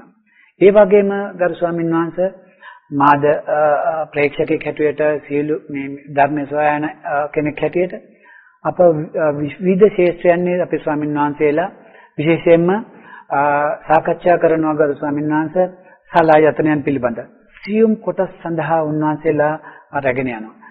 සමහර ස්වාමීන් වහන්සේලා මේ ස්කන්ධයන්ගේ පිළිබඳ සියුම්ව කතා කරනවා. සමහර ස්වාමීන් වහන්සේලා ධාතුන් පිළිබඳ සියුම්ව කතා කරනවා. විවිධ විශේෂයෙන්ම ශ්‍රී ලංකාවෙන් රටක අති ගැඹුරු කොටස් කතා කරත් වහන්සේට සත්‍ය වශයෙන්ම පවසන මේ නාම රූප විග්‍රහය පිළිබඳ සාකච්ඡා වෙන ප්‍රමාණය අඩුයි. නමුත් ගරු ස්වාමීන් වහන්සේ දවස පුරාම අපිට උත්සාහ කරා අපේ ප්‍රේක්ෂකයන් දැනුවත් කරා පෞද්ගලික මාස සතර පුරාම උන්වහන්සේ ගෙන හැරෙන්න දක්වන්න උත්සාහ කරේම මේ නාම රූප පරිච්ඡේදයේ අවබෝධයෙන් තොරව මේ කියන ආකාරයට ත්‍රිලක්ෂණය අවබෝධ කරගන්නත් බැරි බව ආරෂ්ඨාංගික මාර්ගය අවබෝධ කරගන්න බැරි බව සතර සතිපට්ඨානය අවබෝධ කරගන්න බැරි බව ඒ වගේම විශේෂයෙන්ම බුදු බුදුවරෙක් ලෝට හෙළි කරන්නා වූ මෙන්න මේ පටිච්ච සමුප්පාද ධර්මයේදී මූලික කොටස අභ්‍යන්ත ඇතුළත් වෙලා තියෙන්නේ මෙන්න මේ නාම රූප විග්‍රහය තුළ. ඒක නිසා ගරු ස්වාමීන් වහන්සේ ඔබ වහන්සේට පාද නමස්කාර කොට මම ස්තුතිවන්ත වෙනවා මේ ප්‍රඥා නාලිකාව තුලින් මෙවැනි ගැඹුරු ධර්ම කරුණු ඉදිරිපත් කිරීමට ඉදිරිපත් වීම සම්බන්ධව.